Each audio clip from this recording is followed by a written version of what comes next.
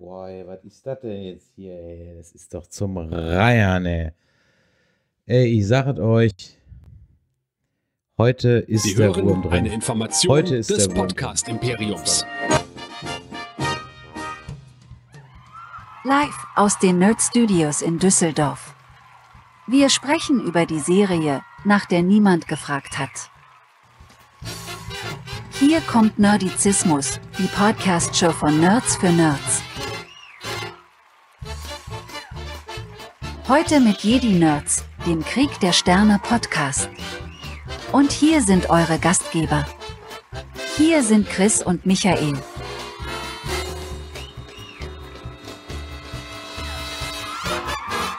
Ja, im Chat steht es schon genau richtig. Wir haben schon lange nicht mehr gestreamt und dann verlernt man doch so einiges. Es war wirklich so, ich war hier echt bei allem abgemeldet. Ne? Es war wirklich zum, zum Reiern her. Und dann immer diese doppelte Authentifizierungsgedöns, bla. Und dann war hier jetzt gerade noch bei meinem Stream Deck noch das falsche Profil eingestellt. Ah, und dann hat die Kamera im OBS aktiviert und dann geht die nicht mehr in den Jitsi online und der Michael war abknacksen, aber das lag dann am Ende doch irgendwie an einem Prozess, der hier lag und so weiter und so weiter und so weiter. Herzlich willkommen Montag kurz vor neun zu den Jedi Nerds. Mein Name ist Chris und mit mir dabei zu meiner Rechten. Nein, das ist Michael. Hallihallo. Ich, ich, ich fühle mich so, als hätte ich irgendwie seit zwei Monaten nichts gesagt. Hallihallo. Ja, ich, ich sage ja, Gerüchte über unser Ableben sind hemmungslos übertrieben gewesen.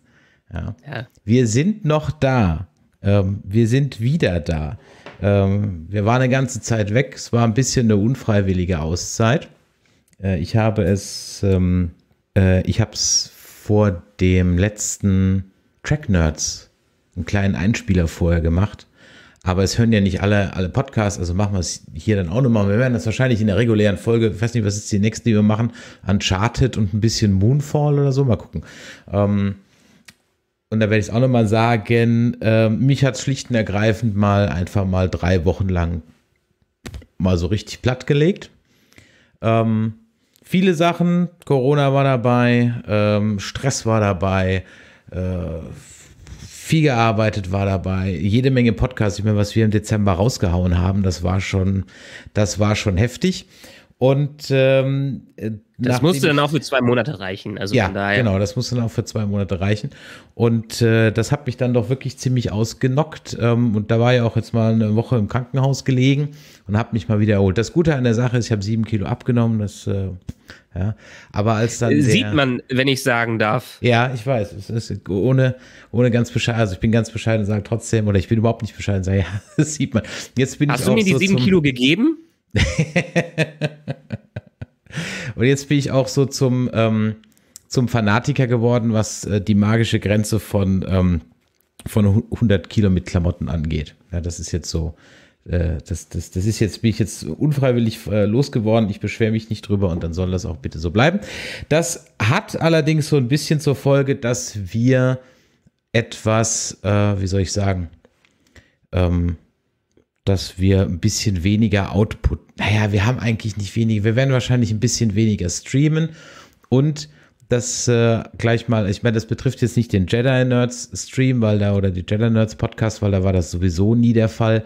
Aber äh, wir werden für die Track Nerds bis auf weiteres erstmal keine Recaps mehr machen, weil das kriege ich schlicht und ergreifend zeitlich einfach nicht mehr gewuppt. Ich sitze inzwischen an so einem Recap locker zwei Stunden pro Folge. Nur allein das Schreiben und nicht den ganzen Kram noch vorher gucken, ums nochmal, ich muss die Folge ja zweimal schauen. Und dann sind das immer zwei Folgen und jetzt sind es eigentlich sogar drei Folgen und ähm, ja, pflichtenergreifend, ich mach's erstmal nicht mehr. Ich krieg's zeitlich einfach nicht mehr hin. Das ist hier ein Hobbyprojekt, wir werden hier nicht für bezahlt, auch wenn wir natürlich ein professionelles Auftreten haben und immer wieder Leute glauben, dass wir hier das hauptberuflich machen. Äh, nee, ich weiß gar nicht, ob ich sagen kann, schön wär's. Also wer uns dafür bezahlen möchte, ihr seht hier unsere ganzen Kontaktdaten, die 015259647709, könnt ihr uns kontaktieren, bitte, ne? Ja, das ist übrigens ein gutes Stichwort. Ich hole mal eben was, denn Du erinnerst dich doch noch an unsere äh, ähm, Enterprise äh, Playmobil-Aktion auf der FedCon, ne? Äh, natürlich. Und die liebe Anja und ihr Mann, die das Modell damals ersteigert haben, die haben uns letztlich etwas geschickt, wie der Stream ist weg. Warum ist denn der Stream weg? Ey, heute ist wirklich der Wurm drin. Ich sehe es ja. noch bei mir. Bei mir ist ja auch alles da, Limek. Also sorry, wenn dein Stream weg ist, dann ist er bei dir weg. Hier ist alles tutti. Und äh, verwirr uns nicht so. Ja, Schrei, Stream ist weg, wenn er wirklich weg ist. Und nicht nur, weil du drei Sekunden lang keine Internetverbindung hast in deinem Loch, wo immer du wohnst, bestimmt in der Eifel. Nee, wo war ich? Die Anja, genau, die Anja und ihr Mann, die haben uns nämlich was geschickt. Warte mal. Da bin ich jetzt mal gespannt. Ah, haben wir oh. hier ein, äh, ein echtes, äh, jetzt muss ich mal gucken, ich glaube, Andreas Schüler oder Schüler oder so heißt der Künstler. Ihr kennt den, wenn ihr mal Star Wars und Kermit googelt, dann kennt ihr seine Bilder. Und das ist also ein äh, Original. Und ich überlege schon die ganze Zeit, Michael, was wir damit machen sollen. Ich würde das wieder gerne irgendwie für einen guten Zweck oder sowas mal versteigern oder wieder Unterschriften drauf sammeln. Ihr könnt ja mal in den in den, in den Chat schreiben, äh, was ihr da wollt. Also jetzt schreibt ihr, dass der, der Stream mies ist keine Ahnung, kann ich nicht nachvollziehen. Alle meine Übertragungsqualitäten sagen Attacke Kamelle. Bitrate 6 Mbit bei Twitch und bei YouTube sind es auch 4 Mbit, wie immer. Also keine Ahnung, kann ich euch nicht, kann ich euch nichts zu sagen, warum das jetzt bei euch gerade irgendwie hakt. Hier gibt es keine. Wir wurden runtergestuft, weil wir nicht mehr so lange da waren. Wahrscheinlich. Wahrscheinlich. Und dann hat uns, äh, haben die uns noch einen, da haben die mir einen kleinen Wunsch noch erfüllt, die Anne und der Mann, nämlich die hatten noch eine DVD von Robin Hood, König der Diebe, mit der alten Synchron. Die habe ich jetzt. Also an der Stelle nochmal vielen Dank. Und wir werden auf jeden Fall was Gutes anfangen mit dem Bild. Wahrscheinlich irgendwie äh, zu Anja, du bist ja im Chat. Ach, das ist ja toll. Ja, äh, das ist ja super. Hallo Anja, schön, schön, dass du im im Chat ist. Wir werden was Sinnvolles mit diesem Bild anfangen. Ihr könnt ja mal in den Chat schreiben, was euch da äh, so einfällt. Jetzt muss ich gerade mal überlegen, wie mir eine gute Überleitung einfällt. Aber Michael, bis mir die eingefallen ist, kannst du ja mal sagen, wo man noch mehr von uns hören muss nach diesem extremst holprigen Auftakt heute ja, äh, der, der zumindestens die letzten zwei Monate nach uns gesuchtet hast, konnte vielleicht in den Archiven, und zwar auf nerdizismus.de, sich wieder durchziehen, alles, was wir bisher gemacht haben, so in den letzten sieben, acht Jahren.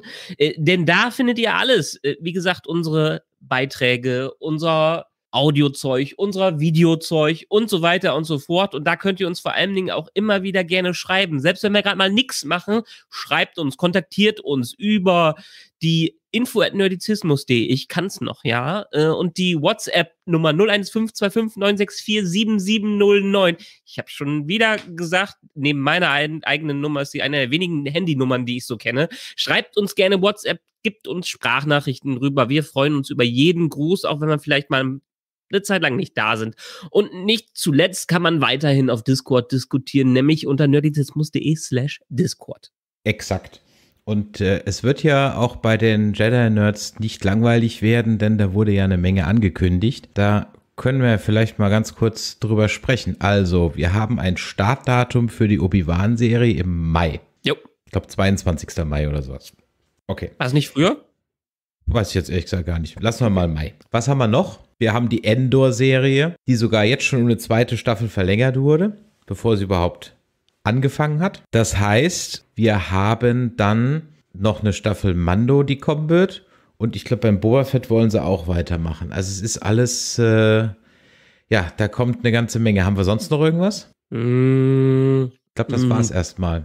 Das war es soweit. Im ja. Chat wird schon geschrieben, noch mehr Wüste und Sand. Ja, es ist in der Tat so, dass man irgendwie eine Obsession mit Tatooine hat. Äh, ich mhm. sag mal so, ich hoffe nicht, dass es bei Endor so weiter ist. Mein Problem mit Endor ist ein anderes. Mein Problem mit Cashen Endor ist, dass einfach der Charakter eine Plot-Armor hat, weil er ja nicht sterben kann.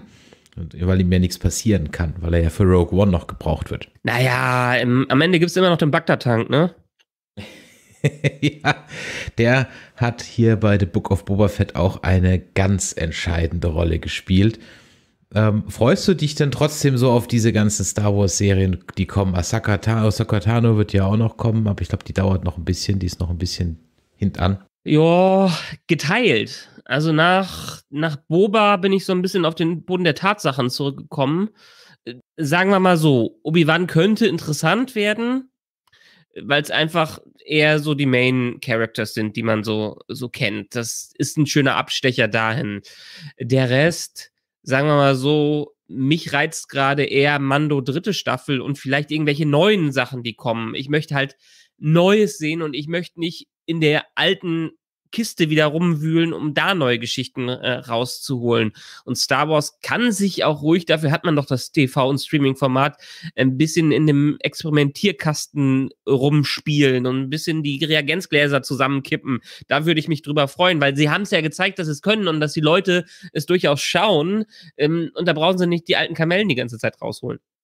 Ja, aber es läuft ja jetzt, dann sind wir ja schon fast mitten bei The Book of Boba es riecht ja so nach Star Wars Endgame.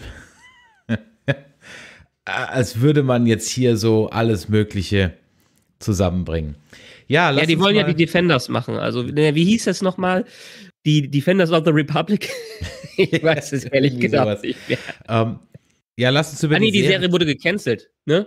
Die haben sie ja doch nicht mehr. Ja, diese, diese High, nee, nicht die High Republic, die, ja, irgendwie Defenders oder wieder, nee, die hieß, ah, keine Ahnung. Wegen der War das die, die Rogue Squadron-Serie, glaube ich? Ja, da hatten sie irgendwelche kreativen Differenzen, glaube ich, dazwischen. Ah, okay. Egal. Lass uns über die Serie reden, die keiner haben wollte und die wir trotzdem bekommen haben. Und es hat einen Grund, warum die Serie nach der Serie keiner gefragt hat. Weil ja. man, glaube ich, einfach alle Geschichten, die man mit Boba Fett hätte erzählen können, im Mandalorian einfach schon erzählt hat. Und, ja? äh, und, und dann hat man aus irgendeinem Grund eine Serie geschaffen, die partiell wirklich gar nicht so schlecht war und partiell wirklich einen extremst Kopfschütteln zurückgelassen hat. Ich meine, ich habe das jede Woche geguckt und ich habe es auch gerne geguckt und es war auch jetzt nicht, es war kein Star Trek Discovery, wo man permanent mit dem Kopf auf die Tischplatte fällt.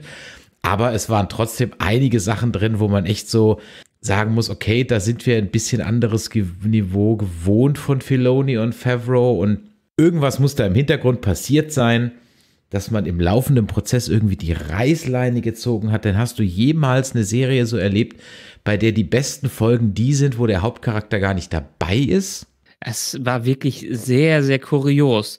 Ich meine, man hat das ja von Anfang an so ein bisschen gesehen, dass die scheinbar keinen Plan hatten, Vielleicht hatten sie einen Plan. Es kam jedenfalls nicht so rüber, als ob sie keinen Plan hatten, was die mit Boba machen wollten. Es war so, die Fans haben richtig geil reagiert auf das Cameo und wahrscheinlich auch irgendwelche Disney Executives, die dahinter standen und haben gesagt, boah, geil, können wir doch eine Serie draus machen. Ähm, aber sich erstmal zu fragen, was soll die Serie eigentlich bewirken? Was ist die Moral von der Geschichte? Was ist die Moral hinter unserem Helden, der ja eigentlich nie wirklich ein Held so richtig war? Ähm, während wir doch schon im Prinzip, wie du es gerade schon gesagt hast, das meiste schon in, in einer eigenen Serie äh, verbaut haben. Ich meine, alle am Anfang haben ja gedacht, als Mandalorian angekündigt wurde, dass das ja irgendwas mit Boba zu tun hatte. War ja am Ende nicht Boba, aber trotzdem, es ist, es ist schon sehr kurios. Es ist so ein bisschen, als hätten sie ein Executive an Steuer gesetzt und irgendwann mittendrin haben sie gesagt, nee, funktioniert nicht. Äh, wir machen Mandalorian 2.5 draus. Ja, genau. Also ich, ich habe keine Ahnung, was, also ich habe das wirklich noch nie erlebt, dass das die so eine Serie im Prinzip angekündigt wird und dann hat man sogar noch eine Post-Credit-Scene bei, bei der zweiten zweite Mandalorian-Staffel war es, ne? Genau. Und, und ich muss ganz ehrlich sagen, ich war schon damals nicht so gehypt drüber, weil ich mir dachte so, ah, warum? Ja, die Figur des Boba Fett lebt ja von ihrem eben, dass ich nichts weiß. Ja, schon das mit dem Kind war schon in den Prequels. Ah, okay, ja. Ah. Dann kam es nochmal in Clone Wars ein bisschen vor. Und dann hätte es ja auch nochmal ein, äh, ein paar ungesendete äh, Folgen von Clone Wars gegeben, wo er dann auch nochmal ein bisschen was gewesen wäre. Können wir später noch vielleicht drüber sprechen. Aber das ist halt so die Show No One Asking For. Und der hat ja, ich meine, Boba Fett ist ja ein Charakter, der kam zum ersten Mal im, Hol Star Wars Holiday Special vor, in einer Animations, ähm, äh, in einem Animationsteil. Und, äh, Sogar noch früher. Noch früher, echt? Noch früher. Bei so einer Parade gab es ja so einen Versatz Stimmt, von. Da hat man, genau, da Ober, hat man diese, genau. die komplett weiße Version noch gehabt. Ja. Das war nämlich die Prototype-Version. Der war nämlich ursprünglich komplett weiß gewesen. Da kann man mal auf YouTube einfach Boba Fett Prototype suchen, dann findet man da die Videos und die ersten Screen-Tests dazu. Und dann kam der also im Holiday Special vor. Dann hat man den auch eigentlich ehrlich gesagt wieder vergessen, bevor er dann in Empire Strikes Back 1,30, zwei Minuten im Bild ist, ja.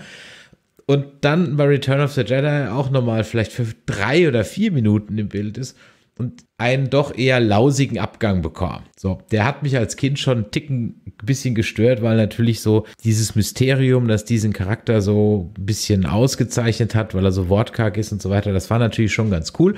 Und auch die Actionfigur von Kenner von Boba Fett war schon, ja, und das war ja und ist ja auch eine coole Rüstung. So muss, muss man einfach, einfach sagen. Damit war das Thema aber durch. So, und plötzlich kommen die Prequels daher und sagen dann, ja, äh, das ist jetzt dann der äh, Klon, der, naja, der, der Sohn-Klon vom Django Fett. Da hatte ich bei dem Prequel schon mein Problem mit diesem Django, ja. Wie ich so grundsätzlich mein Problem habe, wenn Star Wars einfach zu offensichtlich also natürlich ist, sind einzelne Plot-Arcs bei Star Wars immer geklaut, ja, und immer nachempfunden. Aber wenn es halt zu offensichtlich, zum Beispiel die Diner-Szene in Episode 2 war das, glaube ich, wo das halt so ein ganz offensichtlicher American Diner ist, so inklusive der Einrichtung. Ah, nee. Da habe ich echt ein Problem mit. Das war leider jetzt beim Mando ein bisschen und bei Boba Fett halt extrem. Aber wo du eben drüber geredet hast, also ich meine, warum ist denn Boba Fett am Ende so groß geworden? Wir hatten die Originaltrilogie und irgendwie konnten die Fans ja dann am Ende nicht genug davon bekommen. Äh, Es gab ja in der Zwischenzeit, bis die Prequels rausgekommen sind, was gab's? Es gab Tausende an Büchern Mhm. und dieses Expanded Universe, was rausgekommen äh, ist, wo er ja auch schon besprochen wurde. Und dadurch hat sich ein Hype aufgebaut rund um diesen Charakter. Ähm, und der war so beliebt, dass Lukas ihn ja auch nachträglich in die Special Editions mehr reingepackt hat. Ja. Er hat da ja noch mehr Szenen bekommen in den, äh, in den viel geliebten Special Editions. Und dann hat er in den Prequels auch noch die Vorgeschichte von äh, Boba erzählt, äh, weil einfach, und ich meine, wie war, wie war, wie ist der Spruch von Batman? Es ist nicht der Held, den ihr braucht, sondern äh, äh, den ihr wollt, sondern den ihr braucht, so ungefähr. Ähm, und das haben sie das, das hat George Lucas wohl so interpretiert, ähm, ihr kriegt, was ihr wollt und nicht, was ihr braucht. Ja, keine Ahnung. Das sind ja einige Dinge, die jetzt irgendwie so nachträglich noch reingeschustert werden müssen, damit es irgendwie, ne, was nicht passt, wird passend gemacht. Das ist ja so, das ist ja überall jetzt das, das Motto. Also da ist ja Star Wars jetzt weiß Gott keine Ausnahme. Also das ist Ja.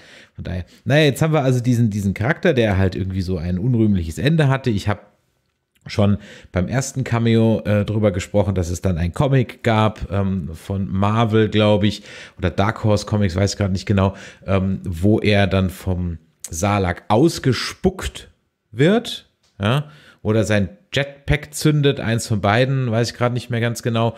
Am Ende des Comics, nach einem Kampf mit Han Solo auf einem Sandcrawler, aber dann inklusive Sandcrawler wieder in äh, den Salak reinfällt und dann ist eigentlich normalerweise die Story von Boba Fett zu Ende. So, bis dann die Prequels anfangen und dann äh, der kleine Bub auf einmal da war.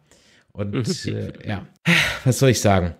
Ähm, wir haben natürlich jetzt im Prinzip so eine Mando-Show, ja. Das ist auch ganz toll irgendwie, aber dann hätte man dem Kind einfach einen anderen Namen geben müssen. Ja, ich habe die Tage einen wunderbaren Artikel gelesen, der sich dann nochmal mit der Staffel von äh, Boba beschäftigt hat und so ein bisschen die Perspektive gewechselt hat, wo die Serie wohl besser funktionieren würde. Sie hat für mich dadurch nicht besser funktioniert, aber nichtsdestotrotz hat dieser Artikel geschrieben, man müsste Boba Fett eigentlich nicht als Held seiner eigenen Serie sehen, sondern als Bösewicht seiner eigenen Serie. Dann wird das viel besser funktionieren.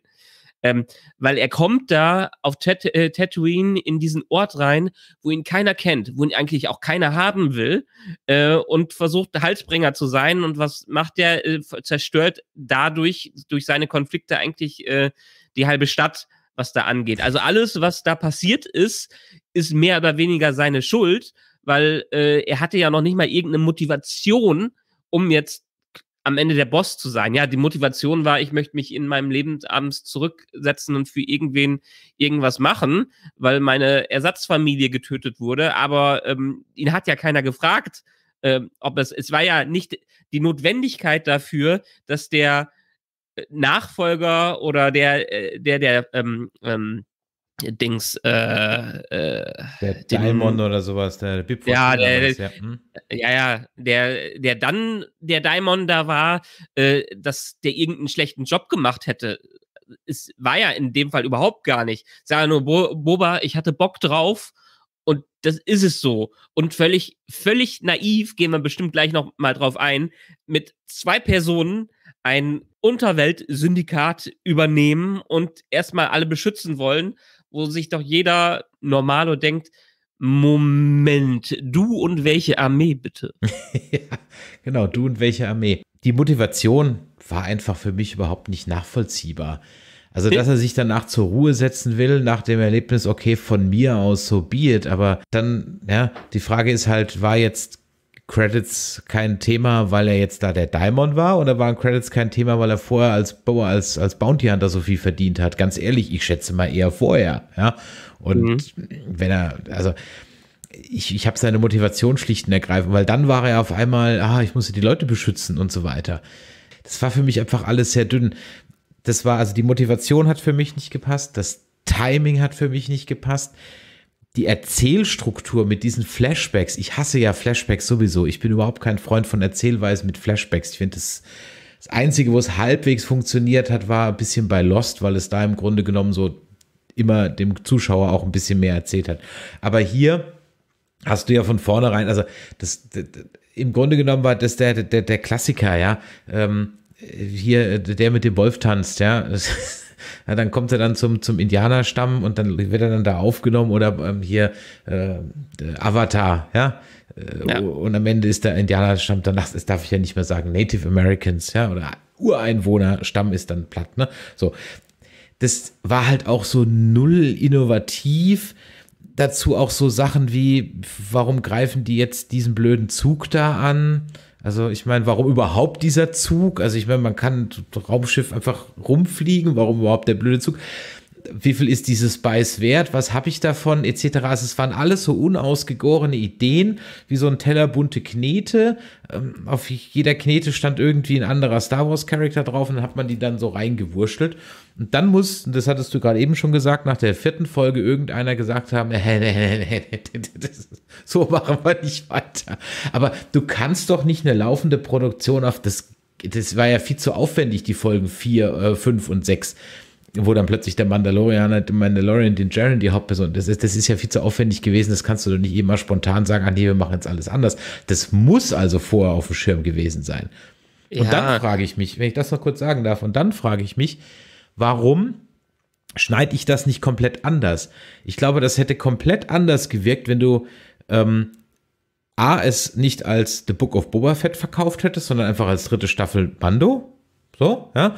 Und du hättest praktisch die Grogu, Luke, Mando-Geschichte plus Darksaber immer so als B-Story zu dem, oder dem Boba als B-Story, ist ja egal, so parallel. Ab Folge 1, mehr oder weniger einfach durchgeschnitten. Ja. Ja, sagen wir mal so, diese ganze Struktur, du hast es gerade schon gesagt.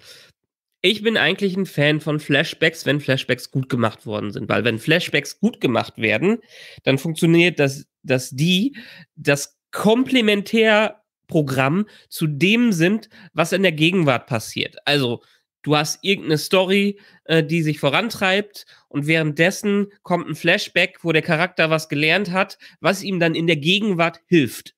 So ungefähr. Die ergänzen sich, die beiden Stücke, in irgendeiner Art und Weise. Deshalb hat Lost für, äh, für mich größtenteils funktioniert. Ich bin immer noch ein Riesenfan von Lost. Ähm, und deshalb funktionieren auch andere Sachen, die einigermaßen mit Flashbacks zu tun haben. Aber das war hier ja gar nicht. Es waren ja zwei völlig unterschiedliche Stories. Also es, diese Flashback-Struktur hat ja noch nicht mal ansatzweise Sinn gemacht, weil einerseits hatten wir zehn Minuten vielleicht in der Gegenwart und dann 50 Minuten in der, äh, in der Flashback-Geschichte. Und dann haben wir mal wieder Hälfte, Hälfte. Und die hatten wirklich nichts miteinander zu tun, außer dass er wieder in seinem Bagdad-Tank war und sich dran erinnert hat. Und man dann noch ein paar Episode 2 Flashbacks mit reingepackt hat.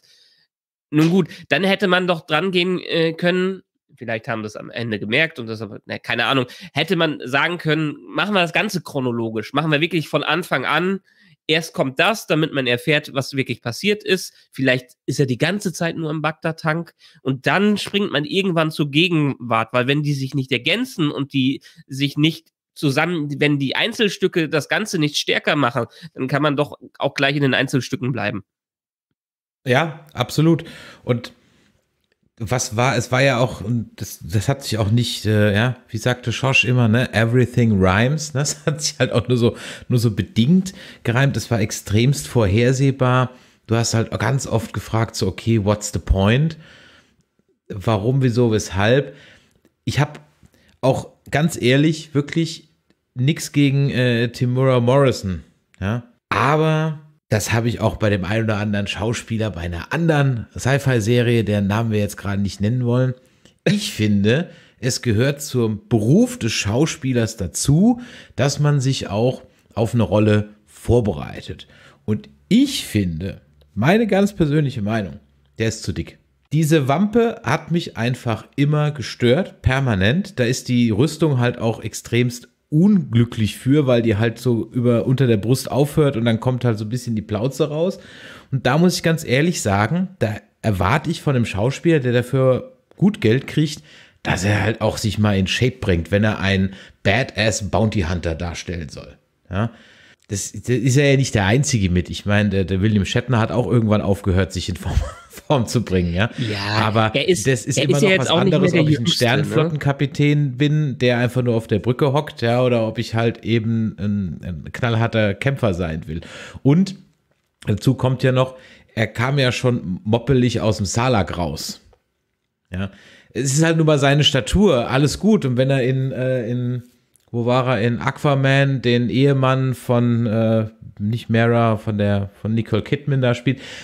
Alles in Ordnung, ja, dann kann er das ja auch gerne machen, aber wenn ich so eine Rolle habe, es hat mich schon beim Mando gestört in der zweiten, aber da starten soll, okay, gut, das kommt, das ist jetzt nur so ein kleines Cameo und dann, aber jetzt, das hat mich wirklich einfach, ja, gestört. Ich finde auch die neue Rüstung nicht gut. Mir gefällt das mit diesen Umhängen da nicht irgendwie. Ich hätte ihm gerne seine alte wieder angezogen, aber aber das ist, wie gesagt, meine persönliche Meinung. Und ja, das kann jetzt wieder einer schreiben, ist Bodyshaming oder sonst irgendwas. Ich finde, es gehört einfach zur Berufs- keine Ahnung, Auffassung eines, eines Schauspielers dazu, dass man sich eben da auch entsprechend in Form bringt für so eine Rolle. Ich will ja auch keinen Ewan McGregor mit, mit Plauze sehen, der völlig verlernt hat, wie er ähm, Lichtschwert kämpfen kann, weil er einfach zu faul ist, irgendwie da jetzt wieder Unterricht zu nehmen oder so. Naja, sagen wir mal so, wir haben Boba ja nie unter seiner Rüstung wirklich gesehen. Wenn, wen wir gesehen haben, war Django und einen jungen Boba. Sonst haben wir es nie mitbekommen. Äh, deshalb, ich habe jetzt Clone Wars nicht gesehen, war es wäre es für mich nicht überraschend gewesen, wenn ein etwas älterer darunter gewesen wäre. Ja, er hat nicht vielleicht die passende Es geht nicht Statur. ums Alter, es geht nicht ums Alter. Das, das, das ja, das nein, nein, aber nicht, ne? ich, ich glaube, das ist ein Faktor, der mit reinspielt, weil ab einem gewissen Alter kannst du einfach nicht mehr in eine Form kommen, die dafür vielleicht nötig äh, wäre. Und deshalb und da können wir gleich nochmal auf ein anderes Thema drauf gern. Wieso nimmt man dann nicht für solche Rollen, ja, man möchte ihn natürlich in der Hauptrolle haben, äh, recastet einmal oder castet eine jüngere Version und nutzt die dabei. Äh, bestes Beispiel, da wirst du mich wahrscheinlich totschlagen. Wieso recastet man nicht für die Szenen, wenn er so jetzt oft vorkommen soll, einen Luke Skywalker, anstatt ihn digital äh, zu verjüngen? was okay aussieht, aber einen total rausbringt und überhaupt keine Emotionen in dem Gesicht rüberbringen kann in irgendeiner Art und Weise. Ja, und da lass, kann man uns, lass uns die, die, ja. die, die, die Luke-Geschichte. Okay, aber ihn könnte man noch genauso gut, hätte man noch in den, äh, in den Flashbacks, sagt man, okay, der verbringt jetzt, weiß ja auch nicht mal, wie viele Jahre er da ver, äh, mhm. verbringt. Äh, Moment, wann ist er in Salak Pit in Return of the Jedi? Und das ist fünf Jahre später, ne? Ja. So ja, okay, sowas, so viel ja. Zeit verbringen ist da und dann ist halt sein, sein Alter generell das Problem. Da hätte man einen anderen Schauspieler nehmen müssen. Egal. Aber man hätte ja über durchaus Tricks haben können, ihn jünger und älter und so zu machen. Vielleicht er lebt dann fünf Jahre in der Wüste und das ist ein echt anstrengendes Leben und dementsprechend äh, altert er mal in fünf Jahren so seine 20 Jahre. Ja, alles gut. Dann kann er auch ausgezehrt sein, aber ganz sicher nicht kräftig zulegen. Hat, ja. also, schließt sich halt so ein bisschen aus. Ich meine, das haben wir ja auch bei, ähm, bei Eugene bei The Walking Dead, ja. Und mal auch so, oder, oder ähm, äh, wie, heißt, wie heißt der andere ähm, vom Cooper gespielt? Naja, du weißt, wie ich meine, der, der vom, vom, vom Ezekiel, der Buddy. Ja, wo du ja, ja, denkst, okay, dafür, dass ihr eigentlich permanent um euer Essen kämpfen müsst, seid ihr ganz schön wohl genährt alle miteinander. Aber gut, äh, das äh, nur am Rande. Ja, also das hat mich einfach so, immer so ein bisschen rausgeholt und dann wisst ihr ja schon, wie das dann bei mir ist. Dann werde ich halt so nitpicky und dann fallen dir halt die ganzen anderen Sachen auf, wenn du halt in so einer Story einfach nicht involviert bist. Ja, und ähm, tja, dann ist das halt eben so. Und ich glaube, es wäre wirklich cleverer gewesen. Man hätte einen jüngeren Schauspieler gecastet, er hätte seinen Helm einfach öfter aufgelassen und Tamura Morrison hat auch in dem Interview gesagt, dass ihm ehrlich gesagt Boba viel zu viel quatscht. Und da hat er recht, ja, denn eigentlich, aber dann sind wir dem bei dem, was ich eingangs sagte, alles, was man mit Boba hätte anfangen können, hat man leider schon den Jaren gegeben. Was heißt leider? Hat man halt schon den Jaren gegeben. Und eigentlich wäre es halt die gleiche Serie nochmal geworden. Und ich glaube, das haben die halt sich auch überlegt und haben gesagt, ja, was machen wir jetzt? Ja? Und, mhm. und haben dann eben das draus gemacht und äh, das war halt irgendwie nicht. Ja, es sind halt Versatzstücke drin, die durchaus nett sind, die so als mhm. Kurzfilme vielleicht funktioniert hätten. Genau. Ich fand's wunderbar, reden wir mal über das Positive. Ich fand wunderbar ähm, die Mechatronik, die da eingesetzt wurde, das ganze Puppeteering. Großartig, der Bürgermeister und andere, äh, die da drin, drin waren. Ganz toll. Ich liebe es an dieser Star Wars-Inkarnation in der Realwelt, dass sie wirklich außerirdische Spezies wie außerirdische Spezies wirken lassen dürfen, dass es nicht einfach irgendein Typ mit Maske ist, sondern dass es ja. Puppen sind, die ja. lebensecht wirken, dass man nicht einen animierten Grogu nimmt, sondern wirklich das Puppeteering damit reinbringt, das hat was haptisches und das macht diese äh, diese Welt gelebt und das macht sie einfach so vielfältig und diverse, wie man es heutzutage gerne haben will. Das fand ich das Schöne da, daran, was man so gesehen hat. Auf jeden Fall. Und äh, man steckt halt nicht einfach nur ein Schauspieler, wie du es gerade gesagt hast, irgendeine Alien-Maske auf den Kopf und kümmert sich um den Rest halt nicht, ja. Sondern ja. hier kriegen die Bodysuits an, etc. pp. Da wird an die Füße gedacht, an die Hände, alles, ja. Also wirklich, absolut bin ich vollkommen bei dir. Über die Special Effects und deren Qualität müssen wir jetzt mal dein berühmtes Uncanny Valley, in das du auch meiner Meinung nach halt immer sehr gerne reintappen möchtest, ja. Ähm, mal außen vor. Da, da ist das auf, auf höchstem Niveau. Punkt. Ja. ja. Äh, ich finde, sie haben sogar noch mal die Geschichte hier mit dieser riesen LED-Wand, vor der sie es jetzt filmen, sogar noch mal einen Ticken verfeinert. Ähm, da ja. Waren, ja. Die haben die ja auch, äh, die haben die ja auch eine Evolution daraus gemacht. Die werden ja äh, ständig verbessert, die Dinger. Und sind, glaube ich, mittlerweile viel, viel größer und viel, viel dynamischer, als was das vor, am Anfang war, was man auch ganz klar sieht.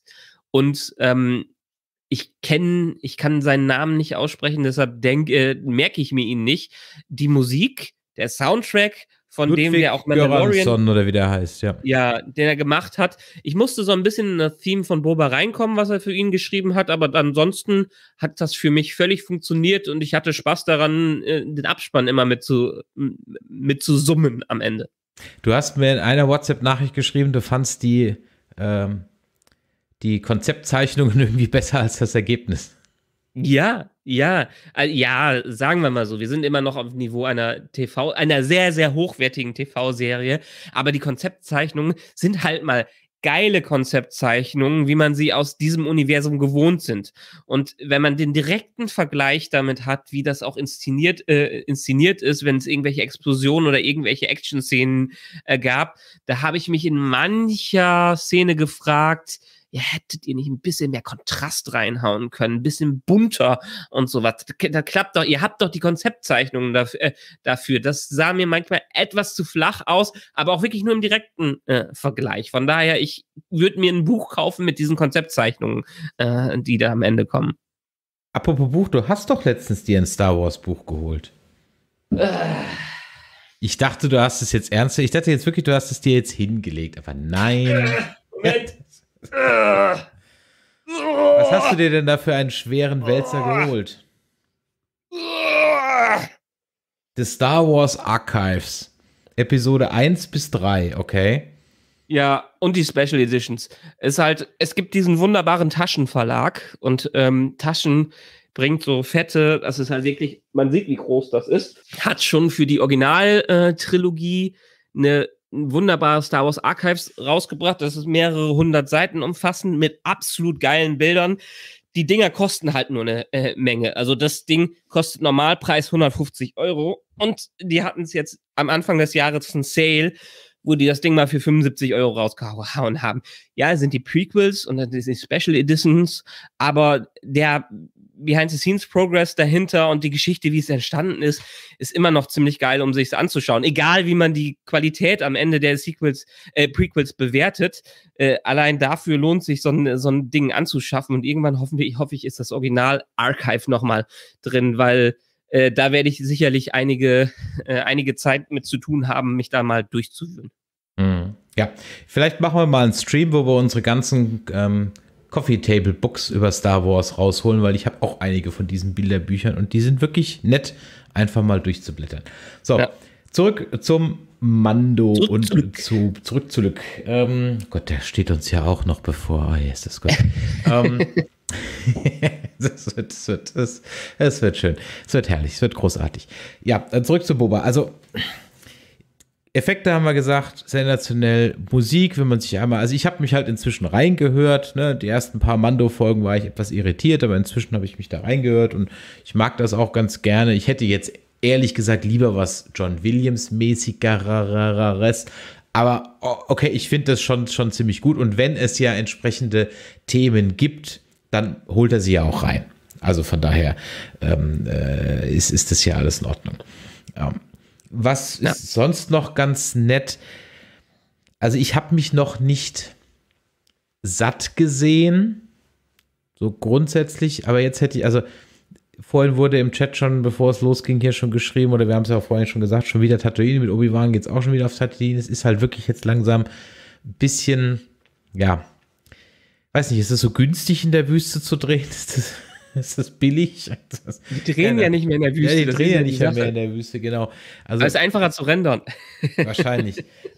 nee, ich habe mich, hab mich an diesem Wüsten- und im Western-Setting jetzt ein bisschen satt gesehen, muss ich ganz ehrlich sagen. Ähm, man hat auch jetzt wirklich jetzt in dieser Serie jetzt sämtliche Western-Klischees rausgeholt. Also das hat man bei Mando auch schon gemacht, aber jetzt hat man sie alle durch. Also jetzt sind alle durch. Das Mexican Standoff war dabei, man hat Cat Bane nochmal zurückgeholt, müssen wir auch noch drüber reden, der ja natürlich eins zu eins ein Lee Frank Cleave Charakter ist, äh, aus den Leone-Western und so weiter und so weiter. Also, ja.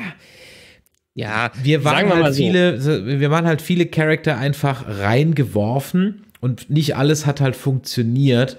Und ähm, ja, lass uns mal über die Sachen reden, die alle nicht so funktioniert haben. Also wir haben ja schon über die Flashbacks geredet, die so grenzwertig waren.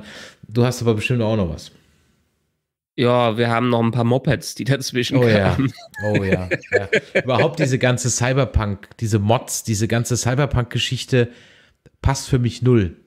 Also das, das war wirklich das, wo ich sage, das war eine dumme Idee, schlicht und ergreifend. Also, dass diese Crew, und das geht nicht gegen die Schauspieler, man muss ja heutzutage alles disclaimern, ja, diese Crew war einfach eine dumme Idee. Die Mopeds waren eine dumme Idee, die Outfits waren eine dumme Idee, das Cyberpunk-Gedöns war eine dumme Idee. Passt für mich 0,0 rein. Die, die Mopeds haben mich ganz stark daran erinnert, als Dr. Who vor etlichen Jahren äh, mal versucht hatte, so ein kleines Redesign der Daleks durchzuführen. Du kennst die Daleks, die mhm, ja. wie Mülltonnen aussehen. Da haben sie die quasi Apple-Versionen rausgebracht, die auch in Rot, Weiß und Schwarz da waren, die wie die fast wie Stormtrooper und äh, eine Mischung aus Stormtrooper und Apple-Geräte aus, äh, aussahen. Das ging auch so ein bisschen nach hinten äh, los und haben sie nie wieder eingesetzt danach. Ja, dazu frage ich mich auch wirklich, wie diese Verfolgungsjagd durch die Endabnahme gehen konnte. Also da gab es ja wirklich, Twitter ist ja, ist ja ausgeflippt, da gab es ja lustigste Memes zu. Also das war ja die langsamste, langweiligste, undynamischste Verfolgungsjagd ever. Da frage ich mich wirklich ernsthaft, wie das durch die Endabnahme gehen konnte. Das, ja, ich meine, im Worst Case hätte ich einfach die Geschwindigkeit mal 1,5 gemacht, ja. Du, äh, Mos Espa ist jetzt nicht unbedingt so groß, da hat man nicht so viele Straßen, wo man mit 150 durchrauschen kann, dann ist man direkt am anderen Ende der Stadt angelangt. Ja, aber da muss ich schneller schneiden. Ja, ja da muss ich halt stimmt. eben die, die Schnitte schneller machen. Also das war, da habe ich mich ernsthaft gefragt, wie, wie, wie, wie konnte das wirklich passieren? Also, ja. Und das heißt, wir hatten also die ersten drei Folgen und das war dann auch mit der äh, dritten Folge so auch der Tiefpunkt, auch bei den Rotten Tomato Scores. Es fing gut an mit 82, ging es sogar auf 90 hoch, um dann auf 59 abzusacken. Ja. Und ähm, dann noch die vierte Folge und dann kam die fünfte Folge, die hier 100% bei Rotten Tomatoes hat.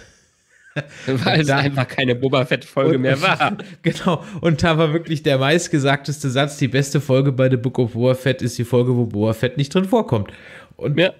so war es halt dann auch. Niemand hatte damit gerechnet. Also ich hatte jetzt, ich hatte vielleicht mit dem Cameo vom, vom, von, von den Jaren mal gerechnet, aber nicht, dass der eine ganze Folge kriegt, die ja eigentlich irgendwie so schon so ein richtiger Epilog zu seiner eigenen Serie war die auch fürs Lore richtig was gemacht hat. Also das Book of Boba Ding macht auch für Star Wars Lore überhaupt nichts, außer die, den lokalen Beef auf, auf Tatooine. Aber diese eine Folge, die macht so, die baut so richtig was auf. Ähm, ich hatte ja vorhin schon gesagt, vielleicht irgendwie so, so ein Star Wars Endgame und ich meine, Kevin, Kevin Feige kennt sich ja aus. Das heißt, wir haben jetzt diese ganzen Mandalorianer und den Kampf um den Darksaber, da wird bestimmt was Schönes draus werden. Ja, hattest du es geschrieben? Ich weiß nicht, ob du es geschrieben hast. Aber diese Folge hat dazu geführt, dass man diese Serie doch irgendwie sehen muss, dass die auf die Watchlist kommen muss, zumindest zwei Folgen davon. Ähm, weil letztendlich hätte, wie du es gerade schon gesagt hast, das ist so eine Nebenstory, die hätte man so ein bisschen abwatschen können. Und dann ist dann doch zum Pflichtprogramm geworden, genau mit dieser Folge. Ja, und halt die nächsten, also fünf und sechs sind, sind wirklich äh, dann insofern Pflichtfolgen, als dass sie halt wirklich diese Mando-Geschichte weiterbringen. Ja. Ähm, auch die Idee, wie er sein Schiff kriegt und ich habe auch nichts, wenn er nochmal zur Wäschefee kommt und dann war ja sogar das kleine Easter Egg mit dem ähm, kleinen äh, Droiden aus äh, Jedi Fallen Order. Ähm, Was ich gerade spiele. Ja, hast du gerade, und ist gut, oder? Ist echt gut, ja. Ähm, ich bin auch ganz froh, dass du mir gesagt hast, dass es nicht so lang ist, weil dann hoffe ich, dass ich vor Horizon 2 damit durch bin, weil ich es einfach nicht oft spielen kann gerade. Aber ja, das ist, ähm, ich meine, es war wie, es ist ja eigentlich die passende Analogie. Wie, es war ein, äh, wie ein Glas Wasser in der Wüste diese Folge. War wie ein Glas Wasser in der Wüste. Du hast vorher nur Wüste gesehen, ähm, eintönig und so passt zu Star Wars. Wir sind mit Star Wars angefangen mit diesen Szenarien. Aber dann plötzlich sehen wir Weltall, sehen wir Kontrast, sehen wir Schwärze, sehen wir Nacht, sehen wir teilweise auch äh, andere Spezies und so. Aber das ist so ein bisschen wie, wir waren am Verdursten in dieser Serie und dann hat man uns dann doch das Glaswasser gereicht. Ein Tropfen hat nur genügt. Ja, und da war so viel drin. Zum Beispiel diese Ringwelt. Ja. Ja. Hat man so noch nicht gesehen. Ja, also jetzt zumindest in Star Wars noch nicht. Gut, ist, auf dem, äh, ist ein ziemlich geiles Sci-Fi-Konzept. Es ist äh, äh das dahinter steckt. Ich glaube, da gibt es sogar irgendwie einen Autor, der dazu geschrieben hat, ein ganzes Konzept, wie die so eine Welt rund um eine Sonne und einen Stern funktionieren kann und genau durch diesen Stern quasi ange äh, angetrieben äh, wird. Ich hatte es mir entsprechend durchgelesen, ich habe schon wieder die Hälfte vergessen. Du aber eine ähm, Dyson-Sphäre, außer dass das hier halt ein Dyson-Ring nee, ist sozusagen. Es ist keine Dyson-Sphäre. Es ist nochmal ein ganz anderes noch Konzept anderes, von einem okay. an anderen Autor, der, der auch wirklich äh, das bis ins kleinste Detail beschrieben hat und ich hatte es in irgendeinem Artikel Artikel gelesen und habe mir danach das alles durchgelesen. Kurzzeitgedächtnis alles schon wieder vergessen. Aber ich kann es empfehlen, sich mal nach, äh, danach zu googeln, äh, weil das ist ganz spannend aufgebaut.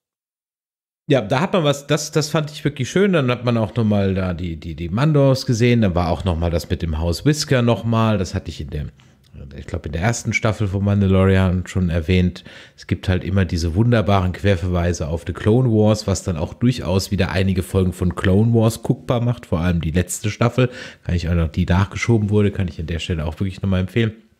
Ähm, auch einige Folgen von Rebels machen dann durchaus Sinn, dass man die sich nochmal anschaut. Also da ist dann schon richtig was drin. Auch ich mag ja immer so, wenn Dinge so ein bisschen normal also wenn man so einen Alltag mal sieht, zum Beispiel, dass er dann einfach so einen Transporter nehmen muss. Ja. Ja. Ja, das, das fand ich wirklich äh, einfach mal eine nette Idee. Dann kommt er, wie gesagt, nach Tatooine, holt sich dann so ein, so ein Schiff ab. Gott sei Dank war es jetzt nicht der Fighter von Anakin, ja. Gott sei also Naja, auch, auch wenn, sie durch die, wenn er durch den Canyon fliegt, ne? Er ist zumindest ja. durch den Canyon geflogen. Genau. Eins zu eins wie äh, beim, äh, wie hieß es beim äh, Hot, Hot Race, genau. Ja. Das haben sie dann auf jeden Fall gemacht es war dann Gott sei Dank nicht der und dann wird der auch umgebaut. Ich hatte ja kurzzeitig gedacht, ähm, weißt du, welches Schiff zum, zu den Jaren richtig geil gepasst hätte? Ähm, und ich dachte im ersten Moment, das ist es, weil auf so einem Naboo-Fighter wäre ich echt nicht gekommen, dass sie das machen. Ich hätte gedacht, er kriegt das Schiff vom General Grievous. Mm, okay. Der hat doch diesen, diesen Hot Rod, da dieses silberne, langgezogene Ding. Ja ähm, was auch so ein bisschen ähnlich aussieht. Das hätte auch gut zu ihm gepasst. Da dachte ich erst, das, das ist es. Und dann hat man so diese schöne Folge, wo sie das Schiff dann so aufbauen, ähm, etc. Also, das hat schon alles wirklich Laune gemacht. Ja, ich habe mich bei dem Schiff, bei dem Naboo Starfighter, habe ich mich gefragt, ähm, der, der muss er sich ja eigentlich immer jetzt ein Hotel nehmen, wenn er unterwegs ist. In äh, seiner Razor Crest konnte er gut übernachten und auch gut weiterfliegen, aber hier hat er ja sogar Grogu, der dann hinten drin ist, hat er nicht viel Platz und nicht viel Ladefläche, wo er irgendwas reinpacken kann. Ne? Das hat mich so ein bisschen gewurmt bei der Sache. Ich meine, so schön wie es ist, da rumzufliegen. Und ich habe jetzt auch die, die Thrawn-Trilogie, hat mir ja auch, da ist ja auch eine Szene drin, wo einfach Luke äh, mit seinem, mit seinem X-Wing auf, im Trockenen liegt quasi äh, und da klarkommen muss. Aber ähm, da hätte ich doch wenigstens einen Anhänger oder sowas gebaut. Ja, ich habe mich halt auch gefragt, wie ähm, transportiert er sein Bounty, seine Beute? Also, ich sag mal so, ein Bounty kann er schon mitnehmen, ne? Das kriegt er im Handschuhfach noch runter. Aber wie kriegt er denn seine, äh, seine Kopfgeldleute äh, mit? Wie geht er mal aufs Klo? ja. also so wie das, die Astronauten. Ja, das war alles so ein bisschen, das ist halt einfach ein, ein, ein Sternjäger und kein Langstreckenschiff. Aber gut, okay, sei es drum. Ja. Das Benefit of the Doubt und äh, ja, von daher, es ist ein cooles Ding. absolut. Auf jeden Fall. Ja. Ähm, und äh, Amy Sedaris nochmal zu sehen, macht ja auch Spaß. Die, äh, auch wenn sie äh, comedy-mäßig etwas rausfällt, so ein bisschen äh, wie unser schöner jamaikanischer, rumflappender Mensch äh, aus Episode 1, ich will jetzt nicht seinen Namen sagen. Ähm, ein bisschen kommt sie ja raus, aber trotzdem macht es Spaß, ihr zuzuschauen. Ja, es ist eben, von daher, das ist für mich alles in Ordnung. Das waren also wirklich gesagt, dann, dann dieses Lore um den Darksaber. Ich fand auch cool, diese. Jetzt guck mal, jetzt sind wir auch schon so weit. Wir reden jetzt schon wieder mehr über, über die Geschichten. Aber es hatte ja auch mehr. Es hatte Aber ja es hat, auch genau, mehr. Es hatte, es hatte ja halt auch mehr. Zum Beispiel, was neu war, also zumindest kann ich mich nicht daran erinnern, dass halt dieser Darksaber so ein Gewicht bekommt. Und ich fand es auch richtig geil, dass er sich halt erstmal selber schneidet. Ja. ja. Dass er eben ja. nicht sofort mit dem Ding umgehen kann, wie irgendwie so ein, ähm, wie äh, äh so trainierter Jedi, sondern dass er sich einfach mal fast selber sein Bein abhakt dabei. Super. Naja, es ist ja auch wieder, die Prequel-Szene, die über sich viele aufregen, wie in der Jedi Academy einfach die ganzen kleinen Kinder mit ihren Lichtschwertern rumfuchteln. Das Ding kann dir den Arm absäbeln, wenn du nicht aufpasst. Also das, das passt hier wunderbar rein. Genau. Dann auch dieses Konzept, dass der halt schwerer wird von Schlag zu Schlag, ja. Das war auch mal was Neues, ja. Fand, ja. fand ich auch äh, so, so ganz, ganz cool. Also, das, da war schon äh, eine Menge drin und sie haben auch das aufgegriffen, was wir ja in der letzten Mando-Staffel gesagt haben. Ja, de facto ist er jetzt der Herrscher und sofort kommt einer und fordert ihn raus. Ja. ja. ja. Das, das ist ja schön, dass das jetzt nicht so unter den Tisch. Das heißt, wir werden ganz sicher noch, ähm, na, wie Horst, die, jetzt komme ich nicht drauf, Starbuck. Ach so, ja, ja, ja, ja. Ähm, mhm. Genau. Ja, Starbuck. Ähm, genau. Werden wir dann auf jeden Fall nochmal wiedersehen und da wird es auf jeden Fall, haben wir vorhin schon mal gesagt, nochmal den, den großen den großen Clash geben. Ja, natürlich gab es den Darksaber schon bei Rebels schon, aber halt eben nicht mit diesen Implikationen, die wir jetzt halt haben. Das ist halt eben, zum Beispiel Sabine Wren kann sofort mit dem Darksaber umgehen. Ja, äh, da, da, die ist da schon sofort ein trainierter Jedi so ungefähr. Und auch diesen, diesen Faktor, dass es halt eben schwerer wird von Schlag zu Schlag oder wenn man damit nicht umgehen kann. Das äh, ist halt, finde ich geil, weil das ist halt eben mal ein neues Konzept bei so einem Lichtschwert. Es ist ja auch ein anderes, hier sieht ja auch anders aus. Ja, also von daher. Äh, Bo-Katan. Bo-Katan, Dankeschön. Ja. Ähm, Katie Sackhoff, danke, Lim. Katie Sackhoff, ähm, genau. Und das finde ich einfach gute Konzepte und äh, da kann man mal ein bisschen was machen. Ich mochte auch diese kleinen Details, dass man endlich mal so Vipro-Klingen in Aktion sieht. Ja, die kennst du eigentlich nur aus ähm, äh, den Knights of the Old Republic äh, Rollenspielen. Da ist so, bevor du irgendwann mal Lichtschwert hast, hast du erst so eine Vipro-Klinge. Ja? ja, und ähm, äh, dann äh, war es schön, dass man die mal so, so in Aktion sieht. Das war eine schöne Sache. Also, das hat einfach alles im Grunde genommen Spaß gemacht. Und äh, ja, dann kriegt er sein Schiff und dann sieht man auch mal die zwei Cops in den X-Wings aus dem letzten sieht man auch nochmal. Also von daher alles ganz, äh, ganz nett gewesen. Und ja, und dann haben wir natürlich jetzt in der Folge 6 hat es natürlich dann geknallt. Da, also ich wusste es nicht, ich habe aber jetzt auch nicht viel gelesen dazu. Ich war wirklich schon, ich wurde gespoilert über Cat Bane in einem Vorschaubild, aber über Luke wurde ich nicht gespoilert. Und ja, ich auch nicht. Sag mal deine ich mein, Gedanken dazu. Was, was, als du das gesehen hast, jetzt lass mal das Uncanny Valley weg. Nur mal so. Ja, Uncanny Valley, egal sagen wir mal so, Ende der zweiten Staffel war natürlich, wow, die haben es gewagt, ihn zurückzubringen. Wunderbar, äh, das wird bestimmt ein One-Off. Dass die seine Rolle jetzt so ausbauen. Einerlei ist natürlich wieder ein bisschen ärgerlich, weil wir wollen ja eigentlich von den Skywalkers weg, von der ganzen Skywalker-Saga und so weiter und so weiter und so fort. Andererseits ist es natürlich nett, wir haben, wir haben noch nichts von dieser Ära von ihm gesehen. Er ist am Ende der zweiten Staffel äh, Mandalorian weiterhin ein Mysterium und dieses Mysterium wird so ein bisschen gelüftet, äh, was da herkommt. Und ich dachte, ich meine, sie haben uns ja auch schon ein bisschen so an, angeteased. Weil den Jaren habe ich schon gedacht, dass der irgendwie zum Finale dazukommt, wenn es ja, zum großen ja. Kampf ist. Klar. Äh, und dann haben sie angeteased, okay, den Jaren fliegt einmal rüber, um sich mit Grogu, äh, Grogu auszusprechen, so ungefähr. Ja, den sehen wir dann im Finale wieder, wenn er wiederkommt. Aber dann anzuschließen in dem ganzen Ding und zu wagen, erstmal da aufzutauchen, dann R2D2 zu zei äh, zeigen, wo man dachte, ah, okay, R2D2 sehen wir, die Folge, äh, gut, das war es vielleicht alles, was wir mitbekommen äh, bekommen. Der schickt ihn bestimmt zurück. Kannst du nach Hause gehen, die sind irgendwie auf irgendeiner Jedi-Mission äh, da. Aber dann das Training zu zeigen und Luke dabei äh, zu zeigen, ähm, das fand ich, damit hätte ich überhaupt nicht gerechnet. Ich fand es konsequent aber ich hätte erstens nicht, sowieso nicht in Boba Fett damit gerechnet und ich hätte, glaube ich, auch nicht in der dritten Staffel Mandalorian damit gerechnet. Ich fand's cool, auch wenn andere Aspekte daran vielleicht nicht ganz so cool waren. Ich hätte ehrlich gesagt, ähm, also ja, das war schon ganz cool, aber auch das war für mich völlig fehl am Platz. Das wäre, jetzt machen die das bei äh, Star Wars noch nicht, aber das wäre für mich das, was sie bei Star Trek, Star Trek Discovery machen, so ein klassischer Short Track. Mhm. Diese kompletten Trainingsszenen von Luke und Grogu, inklusive dem, du musst dich entscheiden und dann Schluss. Das ist für mich, das ist so ein klassischer Kurzfilm. Ja.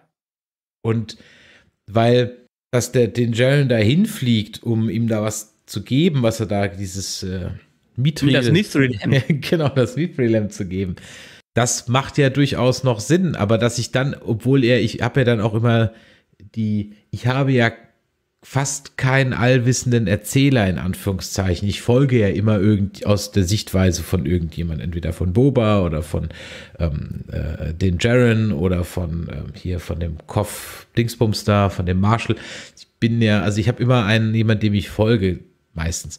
Und, ähm, und dann plötzlich fliegt er den weg und ich bleibe trotzdem noch auf dem Planeten. Ähm, und ich sehe dann trotzdem noch dieses Training. Also ich meine, Forever Nerd Girl ist abgegangen. Die, die hat gejuchzt vor Glück. Als ich das gesehen hat. Und auch diese ganze Trainingssequenz. Und das war auch alles nett und das hat auch irgendwo Spaß gemacht, aber ich fand es halt auch deplatziert. Das wäre so eine Post-Credit-Scene gewesen. Das wäre so ja. ein Schmankerl zwischen zwei Seasons. Komm, hier, guck mal, wir haben euch mal ein extra Ding für 10 Minuten und das Internet wird durchgedreht. Ja, äh, ob dieser 10 Minuten. Da ja, fand ich es verschenkt und deplatziert und ja. Ja, es ist einfach so, es ist wie etwas, dass man die Leute dazu bringt, diese Serie zu sehen, wenn sie sich für, wenn sie sie für sich schon abgeschrieben haben in der Richtung. Es ist halt, es wird zum Pflichtprogramm äh, dadurch. Ich finde, ganz abgesehen äh, davon, ich fand es auch deplatziert und ich habe mich auch gewundert, hm, ja, ist geil zu sehen. Einerseits ist der Fan in mir, boah, geil. Abs war ja nichts anderes als Fanservice. Ja, es war absolut. purer, purer Fanservice ja. mit Soße obendrauf ja. und Sahne und Kirsche noch dabei, so ungefähr. Ähm, aber es war halt äh, komischer Beigeschmack, als ob die Kirsche nicht ganz gut wäre, so un ungefähr da oben drauf, weil es einfach nicht nötig gewesen wäre, das an dieser Stelle zu platzieren. Du hast gesagt, wunderbar, in einem Short Track, in einem Short Wars wieso nicht in der eigenen kurzen, lass es eine Episode sein, lass es ein Special sein, ein Weihnachtsspecial, 60 ja. Minuten Special, irgendwie so in der äh, Art und Weise. Ja. Hätte man daraus machen können. Machen sie jetzt zum Beispiel ja auch für Guardians of the Galaxy, kommt ja Ende des Jahres auch ein Weihnachtsspecial raus, was sie dafür gedreht hätten. Das hätte wunderbar gepasst und dann hätten sie sich auch ein bisschen Zeit nehmen äh, können, um Sebastian Stan als Luke zu casten. Ja. Ähm, jetzt sind wir beim Luke, jetzt reden wir drüber. Ja ich muss ganz ehrlich sagen, die haben ja jetzt den äh, Knaben angeheuert, der ja nach dem ersten Cameo äh, von Luke, was ja wirklich suboptimal war und wo er sofort, ich glaube, ein oder zwei Tage später hat er schon bei YouTube das Video hochgeladen mit seiner Version vom Deepfake, die dramatisch besser war. Und dann hat man ihn ja anscheinend vom Fleck weg engagiert, um also jetzt das zu machen. Und ich muss ganz ehrlich sagen, ich bin, ich wollte nicht und ich bin auch nicht ins Uncanny Valley gefallen. Beim, also beim ersten Mal. Ich habe die Folge dreimal geguckt um, ähm, und beim dritten Mal dann schon. Aber beim ersten Mal war ich wirklich so, ach, ach Gott, nee, das ist ja jetzt, ah, ja, das ist ja ein Knaller. Ähm, und ich habe auch so auf, du hast vorhin die, die Puppetry angesprochen, ja. Ich habe halt so auch, war so entzückt von diesem Puppenspiel, ähm, dass ich den Luke zu 100% abgekauft habe. Mich hat die Stimme ein bisschen gestört, aber hier steht jetzt gerade im Chat, dass Lukes Stimme ähm, nicht neu eingesprochen, sondern Archivaufnahmen der Originaltrilogie zusammengechoppt waren. Äh, nee, auch das nicht ganz. Glaube ich ehrlich gesagt nee, nee, nicht, nein. Ähm, die also, Stimme da, da kam mal Nachweis, Limek. Kommt komplett Quellen. aus dem Computer, äh, kommt komplett aus dem Computer. War übrigens auch schon so bei der, äh, ich glaube, beim Finale vom Mando zweite Staffel haben sie es teilweise gemacht. Aber jetzt ist es eine komplette KI-Stimme. Also die haben den Text nur reingefüttert, haben es vielleicht mich nicht überzeugt. aber ansonsten ist es Siri oder Google ja. oder irgendwas in der Richtung. Aber es ist halt wirklich eine Computerstimme, was okay war. Ähm, das hat mich noch nicht mal, das hat mich noch nicht mal gestört. Also sagen wir es mal so, das war als KI-Voice war das schon gut. Ja. Aber ich habe Mark Hamill nur bedingt rausgehört. Und Mark Hamill ja. ist halt durch seine ganzen Sprach- äh, und Voice-Acting, das er halt macht und dann natürlich dann noch immer durch die äh, Sequels natürlich nochmal sehr jetzt prägnant drin. ja, aber das ist ja natürlich auch wieder ein sehr alter Mark Hamill. Natürlich, klar, logisch. Und das ist, ist, mir schon klar, dass das nur bedingt passt. Ne? Und in seiner Rolle als Luke, da war er ja auch noch ein ziemlich unbeschriebenes Blatt, was das anging. Da war er noch nicht so ausgeprägt in seiner schauspielerischen Leistung, wie es, wie es, wie es jetzt hinbekommst. Deshalb dieses Weiche in der Stimme war schon, war schon okay. Das hat mich jetzt nicht ganz rausgehauen. Äh, ich habe mich Nö, rausgeholt, gefragt, rausgeholt wäre jetzt übertrieben, aber es, war halt was, was so beim zweiten, dritten Mal gucken, wo ich halt dann sagen muss, so, hm, okay. Ähm, ich ich fand es dann doch eher, äh, gut, ich habe einen Blick dafür, einen speziellen Blick dafür. Ich sehe solche Sachen leider direkt. Es war für mich Uncanny Valley. Ich musste sagen, oh ja, sieht schon gut aus, aber immer noch zu hölzern. Also sagen wir mal so, ein Schauspieler lebt ja auch durch, durch seine Mikromimik. Durch was, was im Hintergrund stattfindet. Klar. Und es ist halt nicht wie im Cartoon kannst du das machen. Da ist es eher plas äh, plastisch und da hast du völlig übertriebene Gesten. Aber so ein Schauspieler lebt davon, dass er wirklich mit kleinsten Dingen ganz, ganz viel macht. Äh, bestes Beispiel, den Jaren ist die ganze Zeit in seinem Helm, muss totales Overacting machen, aber das passt wunderbar da drauf, weil man es halt mit diesem Helm machen muss. Ein Schauspieler, den man direkt ins Gesicht sieht, der kann kleinste Nuancen äh, reinbringen, die man auch dann bemerkt, zumindest unterbewusst. Und dieser Detailgrad, auch wenn es Ja, ja. in Standbildern gut aussah, ist für mich leider komplett verloren gegangen. Es ist wie eine glatt gebügelte Maske und ein Luke ist halt aus der Originaltrilogie ein sehr leidenschaftlicher junger Mann, wo die Passion dahinter ist, wo der, der Selbstzweifel hat, der sich fragt, wie können wir jetzt äh, weitermachen, mache ich das Richtige, hat nicht eine richtige Ausbildung äh, genossen, muss sich alles selber zusammenstellen. Äh. Können wir gleich übrigens auch noch ein, aufge äh, drauf eingehen, was das bedeutet. Aber er ist halt jemand, da ist das Feuer dahinter. Und selbst wenn das ein Feuer vom Zweifel dahinter ist, und das hat mir in dieser Performance leider komplett gefehlt. Ja, bin ich bei dir, vor allem, weil Mark Hamill ja auch, ich sag mal, durchaus jetzt sich nicht durch ebenmäßige Haut auszeichnet. Ja, Ja. äh, da, da bin ich Ja. absolut bei dir. Du hast aber gerade einen, einen Aspekt und lass uns mal kurz über auch ein bisschen Story-wise mal reden. Jetzt, ich bin über eine Sache gestolpert, aber vielleicht hast du eine Idee oder vielleicht hat der Chat auch eine Idee. Und zwar habe ich diese Entscheidung, die er dann Grogu aufzwingt sozusagen, Way of the Force oder Way of the Mando, die habe ich ehrlich gesagt nur bedingt verstanden, weil er ja eigentlich diese alte, also er geht ja praktisch zurück zur alten Lebensweise des Jedi-Ordens, ne? Keine persönlichen äh, Verbindungen und äh, Zölibat und bla und überhaupt, gibt nur Ärger. Ja? Okay, kann man so machen, aber da fehlt mir die Erklärung für, weil eigentlich ist er ja A, gar nicht so explizit äh, trainiert worden. Er hat ja mehr Fähigkeiten trainiert als jetzt irgendwie den Kodex. Und äh, er hat es ja bisher auch komplett anders gelebt. Er bricht seine Ausbildung ab, um seine äh, Gefährten zu, äh, zu, zu retten. Er trainiert ja noch seine Schwester, also Leia etc. pp. Jetzt den Grogu auf einmal vor diese Wahl zu stellen, um dann zu sagen, das, das, das passt nicht. Es passt übrigens auch nichts ganz zu den jetzt, äh, jetzt ja Legends, aber zu allem, was wir bisher in den Jedi Academy Games etc. gesehen haben. Na, Kannst, also das, das, diese, die war jetzt diese Entscheidung schlicht und ergreifend einfach nur des Dramas wegen, damit man halt am Ende die Auflösung dann hat, oder? Für mich hat es ja, Ja. keinen Sinn gemacht. zumindestens ist es ja nach neuem Lore so, dass äh, Lea ja die erste, seine erste Schülerin sein soll. Das ist ja dann damit, wäre ja damit widerrufen worden. Aber ja, es hat, der, der Limak hat jetzt äh, hier geschrieben, ja, in Episode 6 war er auch schon äh, passend ruhig und besonnen von der Art. Aber da hat er eine gewisse Wärme ausgestrahlt. Ähm, und diese, diese ruhige Wärme, die er da mit sich gebracht hat, dieses, diese innere Ruhe war für mich auch hier jetzt nicht in, in der Art und Weise äh, da. Und ja, auch dieses, diese Entscheidung hat mich dann doch, vor die Grogu stellt, hat mich dann doch auch sehr gewurmt. Vielleicht nicht bewusst im, beim Gucken der Folge, weil ich habe mir danach ein bisschen was durchgelesen und dachte, ja, das stimmt, das war so mein Gefühl dahinter. Ähm, beim Gucken der Fo- Folge hat's ist mir aufgestoßen, denn äh, von dem, das muss doch jetzt nicht sein. Ähm, du kannst doch, der, der muss doch nicht so dogmatisch leben wie alle vor dir. Und wenn man sich dann durchgelesen hat, ja, er hat ja eigentlich, er hat eine Ahsoka Tano da gerade.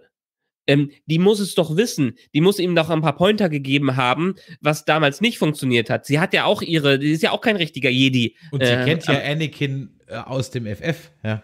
Genau, genau. Und da müsste sie ja dann doch irgendwie zumindestens ein paar Ratschläge, ein paar Tipps geben.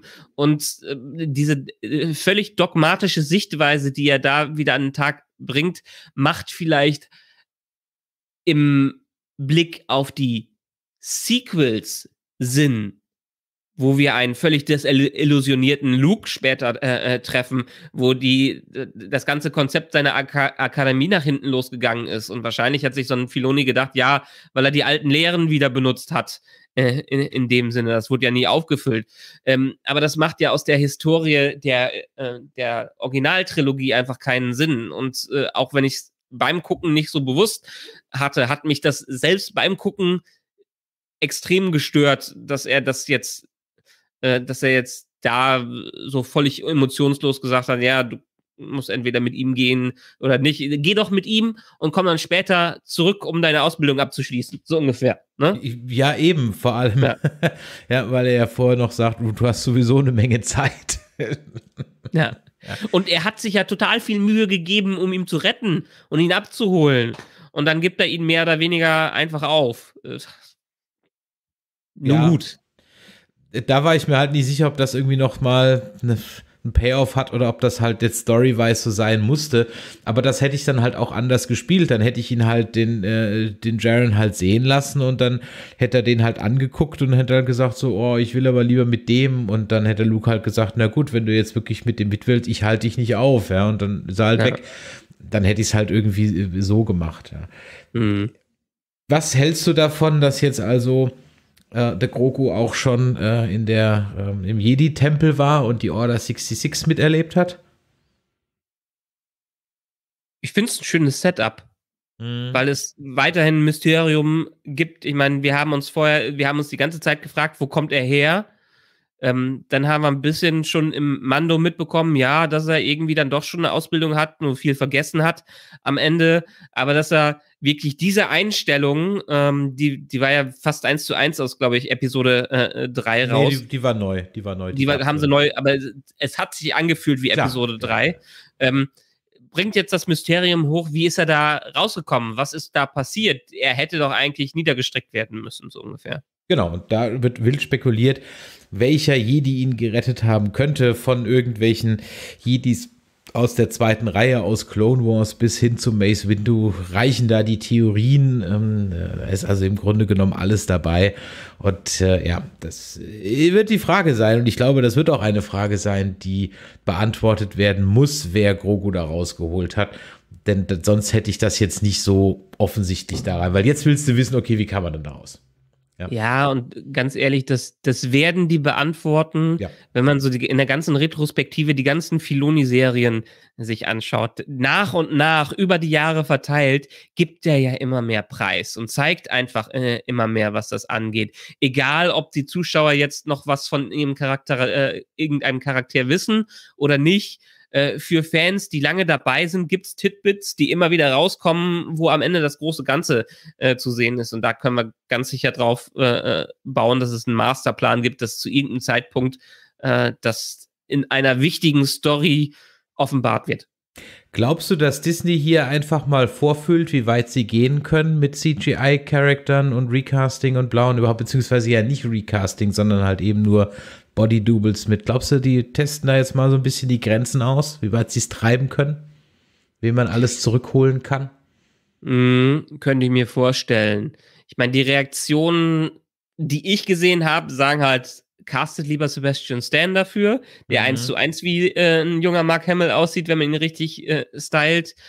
Ähm, ich weiß halt nicht, also ich glaube, das, was wir jetzt gesehen haben in Mando Staffel 2 und dem hier, das bedeutet Großes. In irgendeiner Art und Weise werden wir die Skywalker Luke werden wir nochmal wiedersehen. Sei es eine Serie, sei es irgendein Film oder irgendein Special, der wird wieder auftauchen. Das wird nicht das letzte Mal gewesen sein. Das war ein Test, um zu gucken, wie reagieren die Leute da, äh, da drauf. Und du schmeißt nicht nur ein paar Brotkrumen hin, ohne äh, dass du die nicht erfüllen willst.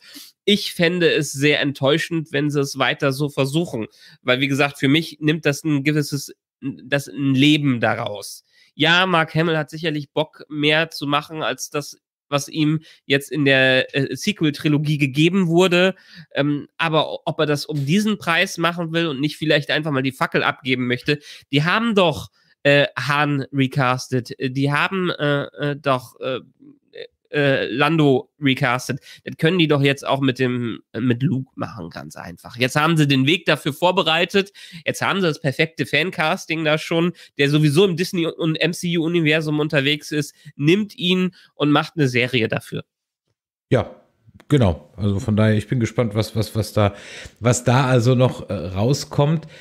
Dann lass uns noch ein bisschen über dann doch nochmal zurück zu Boba gehen und seinem dann plötzlich vom Western hin zu und ganz ehrlich, das hat mich dann im Nachhinein auch ein bisschen oder andersrum. Mir kamen halt gleich fünf Ideen, wie man es anders hätte machen können, denn ähm, man geht dann plötzlich storywise komplett auf den Paten, also total, ja. Und dann frage ich mich halt, warum ziehe ich dann aber trotzdem noch dieses blöde Western-Setting durch? Ja, dann hätte ich ihm, würde ich es ein bisschen so spielen, wie man das gerne mal bei TNG-Folgen macht, wo man einfach so ganz explizit ein Genre in einer Folge mal komplett und dann kriegt halt der Mando sein Western-Ding und dann hätte der Boba sein Mafia-Ding gekriegt. So, mhm. ja, dann aber so hat man halt so einen Mischmasch aus beidem und das hat uns am Anfang irgendwie so gar nicht und dann später irgendwie dann schon und dafür war es aber dann doch irgendwie so ein wieder billiger Abklatsch vom Paten, weil ähm, auch wenn dann die Referenzen da waren und das vom Schnitt her nochmal Stichwort Flashbacks natürlich auch so war wie in der Parte 2, aber das war halt da einfach alles, das hat der Scorsese einfach ein bisschen besser drauf, ja, als der Herr Rodriguez. Ja. Das muss man halt an der Stelle einfach ganz klar sagen und dann waren das mal so nett, dass da so ein paar Tropes drin waren, aber ich habe so diesen ganzen Pike Kram mit den Pikes gar nicht so richtig verstanden. Ich frage mich auch ehrlich, warum hat man da jetzt diese Pikes reingebracht? Warum nimmt man nicht Crimson Dawn? Die hätte man in Solo schon etabliert gehabt, ja. Und wenn ich sowieso perspektivisch den Bogen noch zu Rebels schlagen will, über Obi-Wan und Ahsoka, um dann sowieso beim Thrawn rauszukommen, dann komme ich auch bei äh, nochmal bei Darth Maul raus, den hätte ich dann also da, also wenn ich schon das große Cinematic Star Wars Universe aufbaue, dann hätte ich jetzt nicht noch die Pikes reingebracht, die wirklich nur, die kommen im Solo mal ganz kurz vor, aber im Grunde genommen werden die da nur kurz erwähnt und das große Verbrechersyndikat ist eigentlich Crimson Dawn, dann hätte ich das genommen, aber okay. Gut. Ja, vielleicht sparen sie sich die besseren für was Besseres auf. Ja. Also von daher, das, wir haben jetzt gesichtslosen Fischköpfe gehabt, ist okay ja. äh, in dem Sinne. Ja. Die waren jetzt nicht der, der, der große Renner.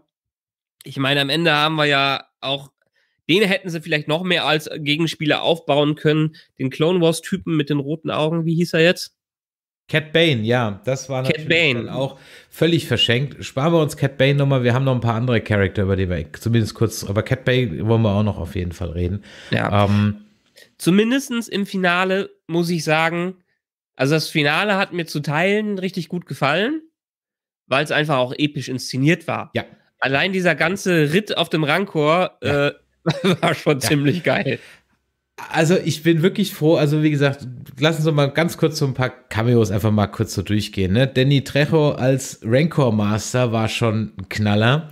Und ich bin wirklich froh, dass sie das Rancor nicht vergessen haben. Ich hatte ähm, noch so ein bisschen die Sorge, dass sie es vergessen, zumindest dafür. Und dann, und in dem Moment, als es dann kam, habe ich selber nicht dran gedacht.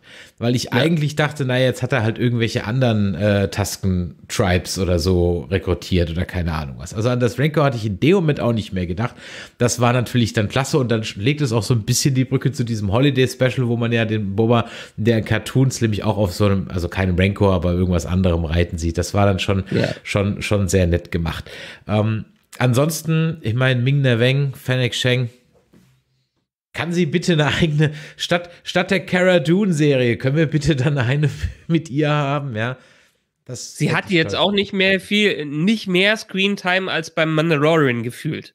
Genau. Und weißt du, ja. was sie ist? Sie ist praktisch das, was Boba Fett so in, den, in, den, in der Originaltrilogie war ist jetzt so Fennec Schenk im Grunde genommen, ja. So die, ja. die wenig sagt und den Job einfach durchzieht. Ja. Ja, ja. Klasse, ja. Und also von daher bitte hier Ming Na Wen. Aber sie ist halt keine Anführerin, das ist die Sache. Sie ist keine, äh, sie ist keine Bossfigur, sie ist nee. die Ausführende. Und genau. das möchte sie auch, glaube ich, so bleiben. Und, und Boba Fett ist halt, glaube ich, auch nur ein Ausführender, ist halt auch kein Boss. Ich glaube, da hat man den ja. falschen Charakter zum Boss gemacht. Ja? ja und wenn man ihn zum Boss macht, dann zum Boss wider Willen, so wie den Jaren, ja, der jetzt halt dummerweise diesen, ähm, diesen, äh, äh diesen, diesen Darksaber hat. Das wäre alles irgendwie so, so, so ein Ticken, Ticken besser gewesen. Aber gut, okay. Ähm, also die Idee mit dem, mit dem Rancor fand ich wirklich äh, schön. Das war auch gut gemacht und so. Und dann auch das, das, so zu erklären, dass das Erste, was er sieht, darauf wird er halt dann geprägt und so. Okay, kann man so machen. War wirklich eine coole Sache.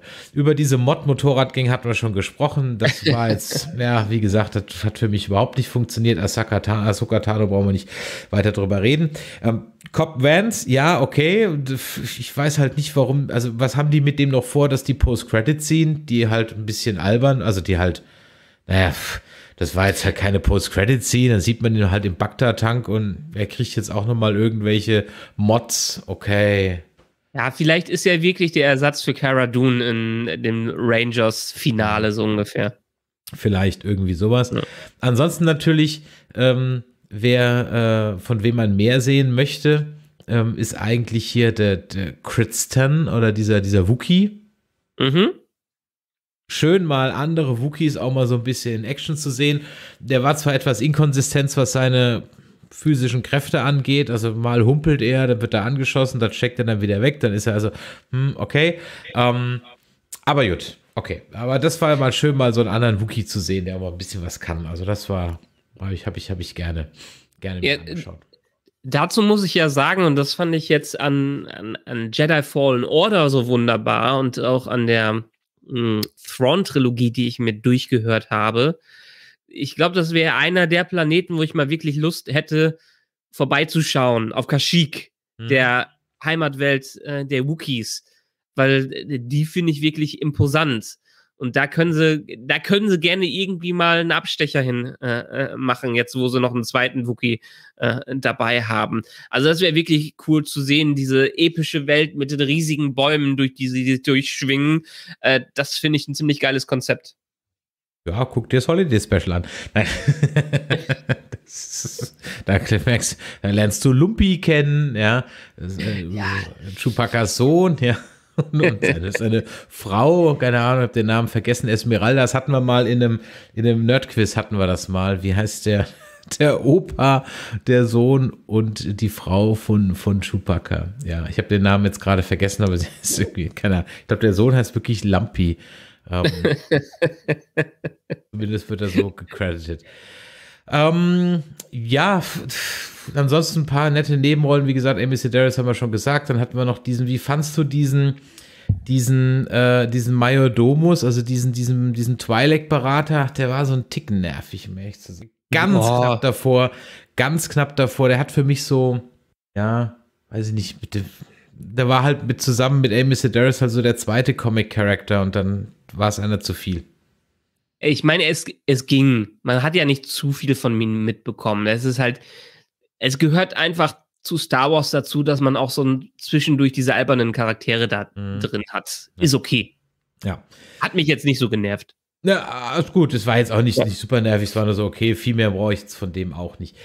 Ja. Tja, und dann haben wir, und jetzt können wir, glaube ich, so ein bisschen aus, aus Finale einbiegen. Dann haben wir dann noch ein Cameo von einem Charakter, der halt wirklich auch deplatziert und verschenkt ist. Denn ähm, Cat Bane ist, du hast ja jetzt Clone Wars und, und den ganzen Animationskram jetzt nicht so geguckt, ist schon der Hauptantagonist neben dem Imperium in ähm, Bad Batch, in Clone Wars, Rebels weiß ich gerade nicht mehr so genau, ob der auch ein Cameo in Rebels hat, aber wenn dann nur ein kleines. Aber in Bad Batch und in ähm, Clone Wars ist er schon der Hauptgegenspieler und äh, was auf Bounty Hunter Seite angeht. Und da war der jetzt schon von seinen Skills her zwar hier gut dargestellt, aber das wäre jetzt jemand gewesen, der hätte als Antagonist für die ganze Serie getaugt und nicht für die letzten zehn Minuten. Ja. Und da kommt halt auch noch dazu, wenn du den Animationskram halt nicht kennst, ja, dann fragst du dich halt auch, okay, wer ist das jetzt? Also dann wird dir praktisch die ganze Bedeutung schwere überhaupt nicht bewusst. Ja, aber das hast du ja vor allen Dingen in der zweiten Staffel Mando schon ganz oft gehasst mit Bo-Katan und Ahsoka Tano und so. Ich meine, uns sind sie einigermaßen klar im Blick, aber so ein Cat Bane zum Beispiel hatte ich auch nichts nix mit. Da habe ich dann wieder meinen Spaß, ein bisschen Wikipedia durchzulesen, ganz zu gucken. Aber dann aber, sag mir doch mal, dann sag mir doch mal, wie du jetzt auf den Cat Bane reagiert hast, als der da kam. Also wenn du den nicht kanntest oder nur vom kannst, hast du Wege schon mal gesehen? Nee, nee. Ah, okay, okay. Ich fand ihn einen ganz coolen Charakter. Also er, er wurde halt super eingeführt, halt wie typische Western-Klischees, wie er seinen Hut hochzieht und so in der Rich äh, äh, Richtung. Ähm, das hat schon Spaß gemacht. Dafür ist er halt mal wieder ziemlich schnell besiegt worden am Ende. Das fand ich sehr schade. Ich, ich hätte Potenzial in ihm gesehen, aber das Potenzial wurde ja scheinbar schon in anderen Serien ausgeschöpft. Aber es war für mich ein netter Charakter, der aber leider nicht die Screentime bekommen hat, die er vielleicht verdient hätte. Ja, auch da ist es wohl so, dass wenn man genau hinguckt, ja, äh, dann blinkt da was an seinem Hemd und vielleicht, also vielleicht sehen wir ihn noch mal, ja, er muss ja mhm. jetzt nicht, nicht komplett tot sein, aber okay. Ähm, es gibt eine kleine Vorgeschichte zwischen, und das ist ehrlich gesagt was, das ist Insiderwissen für, da muss man schon ein bisschen drin sein es gibt ja von Clone Wars Lost Episodes, die nur mhm. als Mockups existieren. Und äh, in einer Clone Wars, in einem Story Arc wird Jungboba, ja, mal von Cat Bane eine Weile, ja, ich sag mal so ein bisschen entführt und dann lernt er so ein bisschen das Bounty Hunter Handwerk, bevor sich die Wege wieder trennen. Kurzfassung. So. Dann gibt es diese Lost Episodes, wo es ein, schon mal ein Duell zwischen Cat Bane und äh, dem jungen Boba Fett gibt. Nämlich das Duell, wo man dann praktisch die Delle in Boba Fetts Helm damit mal erklären wollte. So. Mhm. Das es aber nur als äh, rudimentäres Mockup. Mehr nicht. Oder Fil Filmatic, wie heißt das, wenn das so ganz einfach animiert ist und fast keine Texturen hat? Da gibt es so einen Namen. Phil ja, Cinematic. Cinematic, genau. Und ähm, und darauf wird halt hier heftig angespielt, aber das musst du halt im Grunde genommen über die Extras mal, überhaupt mal wissen, ja. Weil so kann man schon davor sitzen und sagen, hä, wieso, woher kennen die sich jetzt und was, was soll das jetzt? Okay, gut, die kennen sich halt von früher, aber so war das natürlich nochmal ein kleiner Insider an, an dieser Stelle. Ja, aber das, du hast es ja gerade schon gesagt, das hätte man doch wunderbar nehmen können als als Stoff, um die Flashbacks anzureichern, ja, um ihn auch immer mal wieder auftauchen zu lassen mhm. in so mysteriösen Szenen, wo er dann auf Tatooine da und da ist.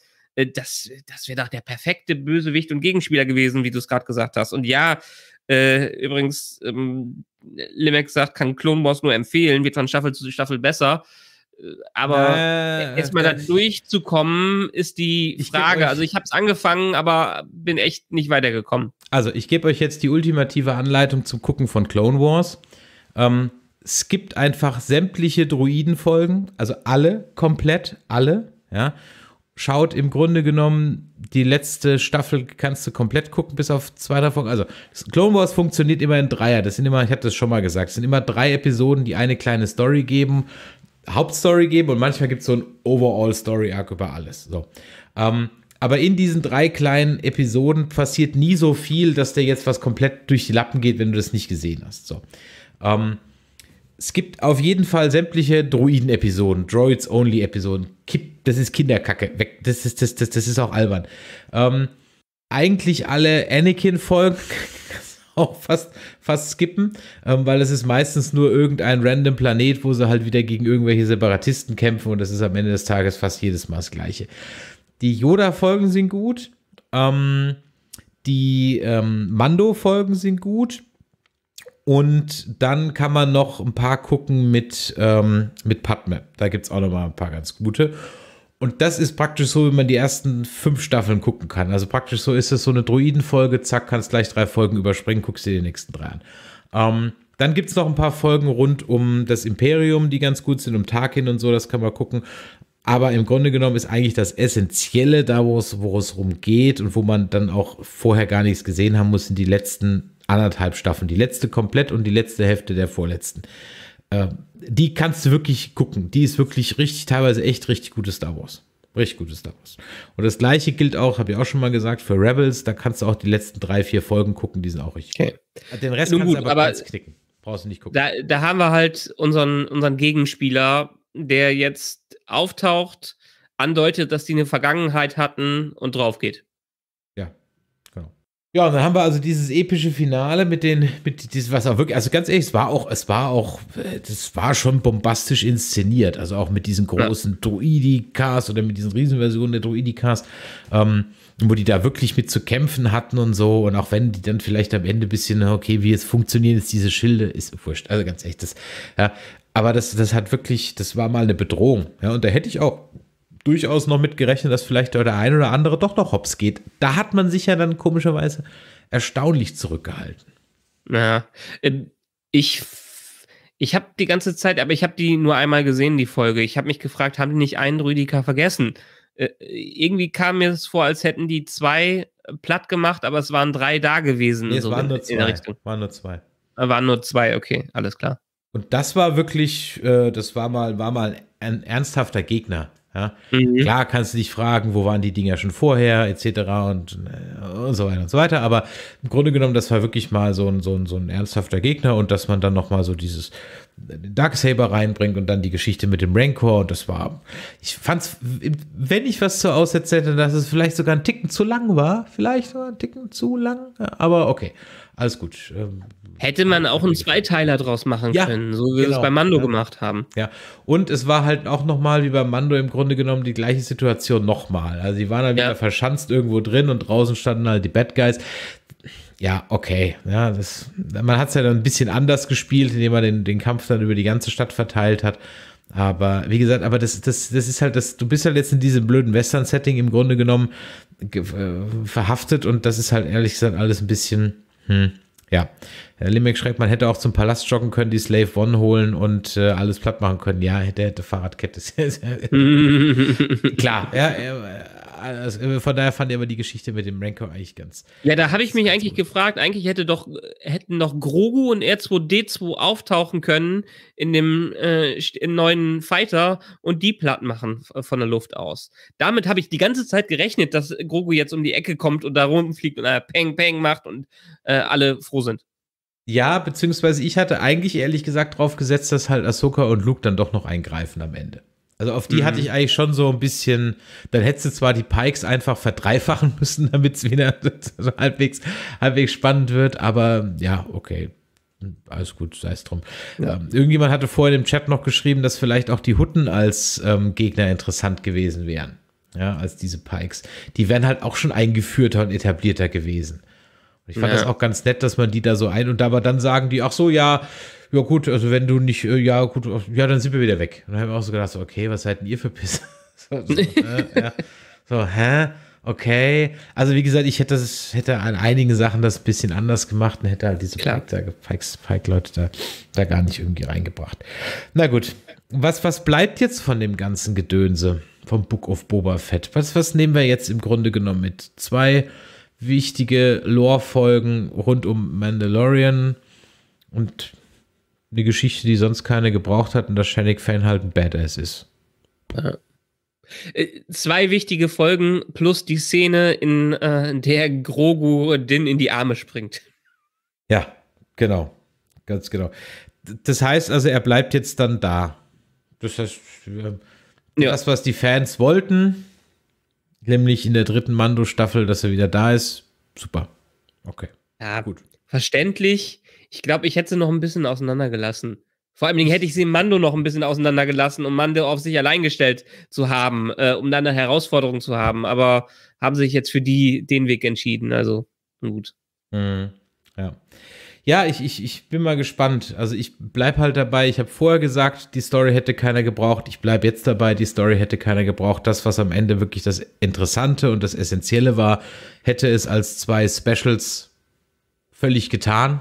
Ja. Ich habe mal die Fans einfach im Sommer mal eine Freude gemacht und einfach ungeplant so ein Ding rausgehauen oder unangekündigt so ein Ding rausgehauen.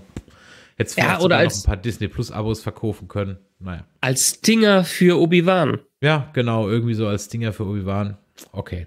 Gut, es sei drum, ich, ich beschwere mich ja nicht, wenn Star Wars gibt und es war jetzt auch weiß Gott kein, also es war auch jetzt weiß Gott kein Schrott. Also das, das muss man jetzt halt auch sagen. Es war jetzt kein Schrott.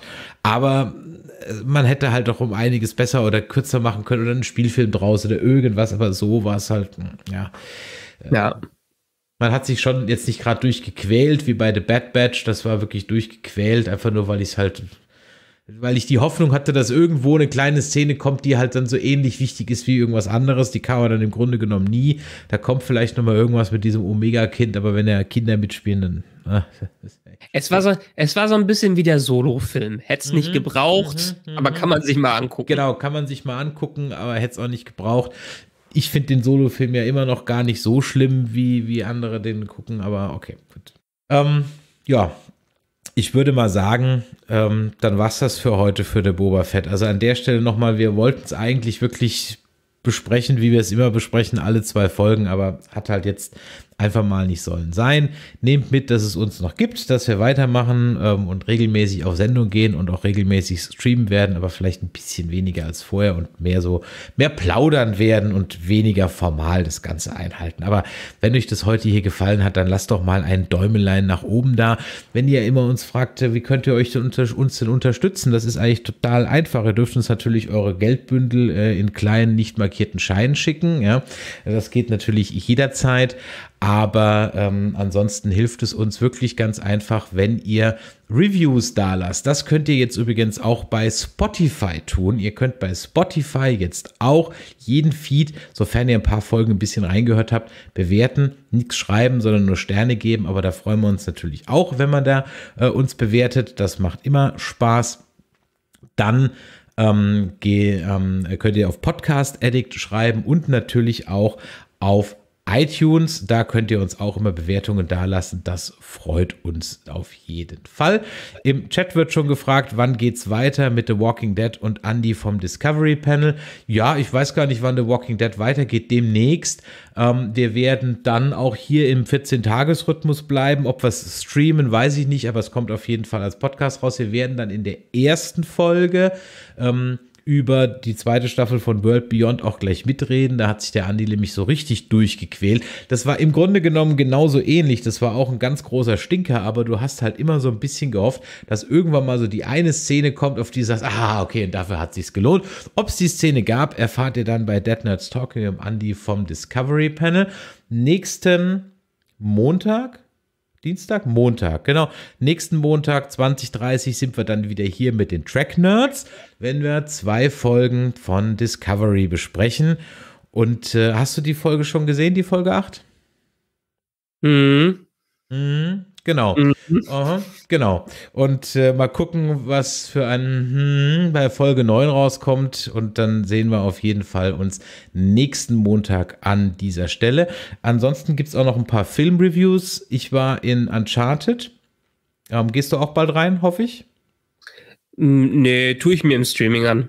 Okay, dann mal gucken, wie wir das be bequatschen werden. Äh, Moonfall, zu den ich glaube, ich würde den gerne im Kino sehen. Ich weiß aber nicht, ob ich die Chance, äh, Chance dazu bekomme. Äh, sagen wir mal, warst du in der PV? Gab es schon eine PV? Es gab eine, aber ich war nicht.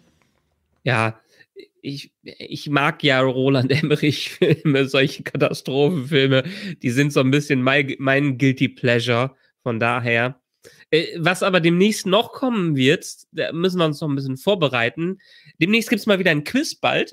Und da haben wir nämlich auch tolle Gewinne für euch. Ja. Da gehen wir dann demnächst drauf ein, an, ein, kündigen wir noch an, aber wir haben eine äh, wunderbare Kooperation, ein wunderbares Thema, wo ihr euch drauf freuen könnt. Und äh, die Preise sind nämlich richtig geil. Nicht ganz, aber so ähnlich. Ah. Und ähm, ah, ein, ein kleiner Hinweis, aber nicht ganz. Dann, was haben wir denn noch? Ach so, ja, wir wollten doch dann irgendwann mal anfangen. Jetzt müssen wir aber aufpassen, dass wir nichts ankündigen, was man nicht hört. Also ich würde jetzt dann doch ganz gerne mal so langsam anfangen mit unseren äh, Nerds. Herr der Ringe. Genau, Herr der Ringe.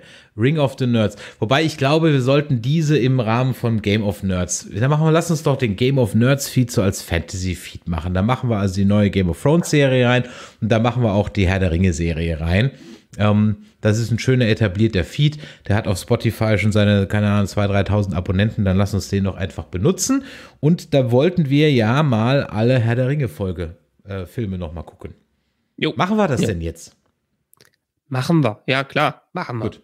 Denn also Herr der Ringe zumindest. Hobbit. Ge Schauen wir mal. Guck, ich will auch mal den Hobbit. Ich habe extra mir alle Extended-Versionen vom Hobbit geholt. Jetzt will ich die auch noch mal gucken. Boah, ich habe von Teil 3 noch nicht die Extended gesehen. Ich habe sie hier in einer geilen Box, aber ich habe sie nie gesehen. Also, das sollten wir machen. Dann lass uns, den, lass ja. uns in den chronologischer Reihenfolge gucken. Also, wir fangen mit den Hobbits an und dann gucken wir mal eben die Dinger durch.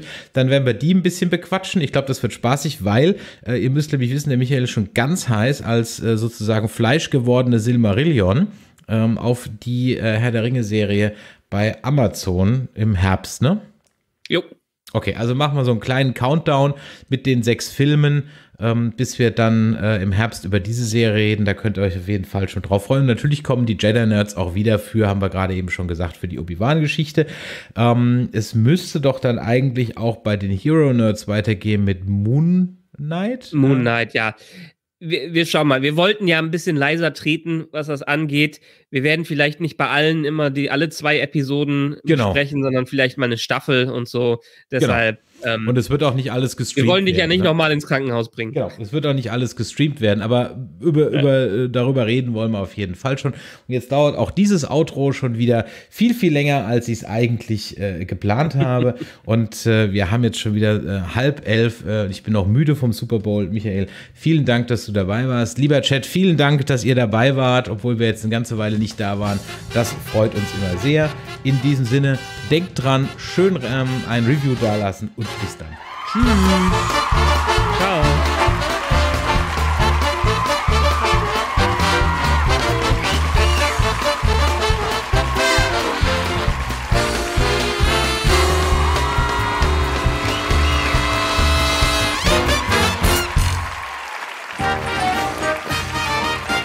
Eine Produktion des Podcast Imperiums.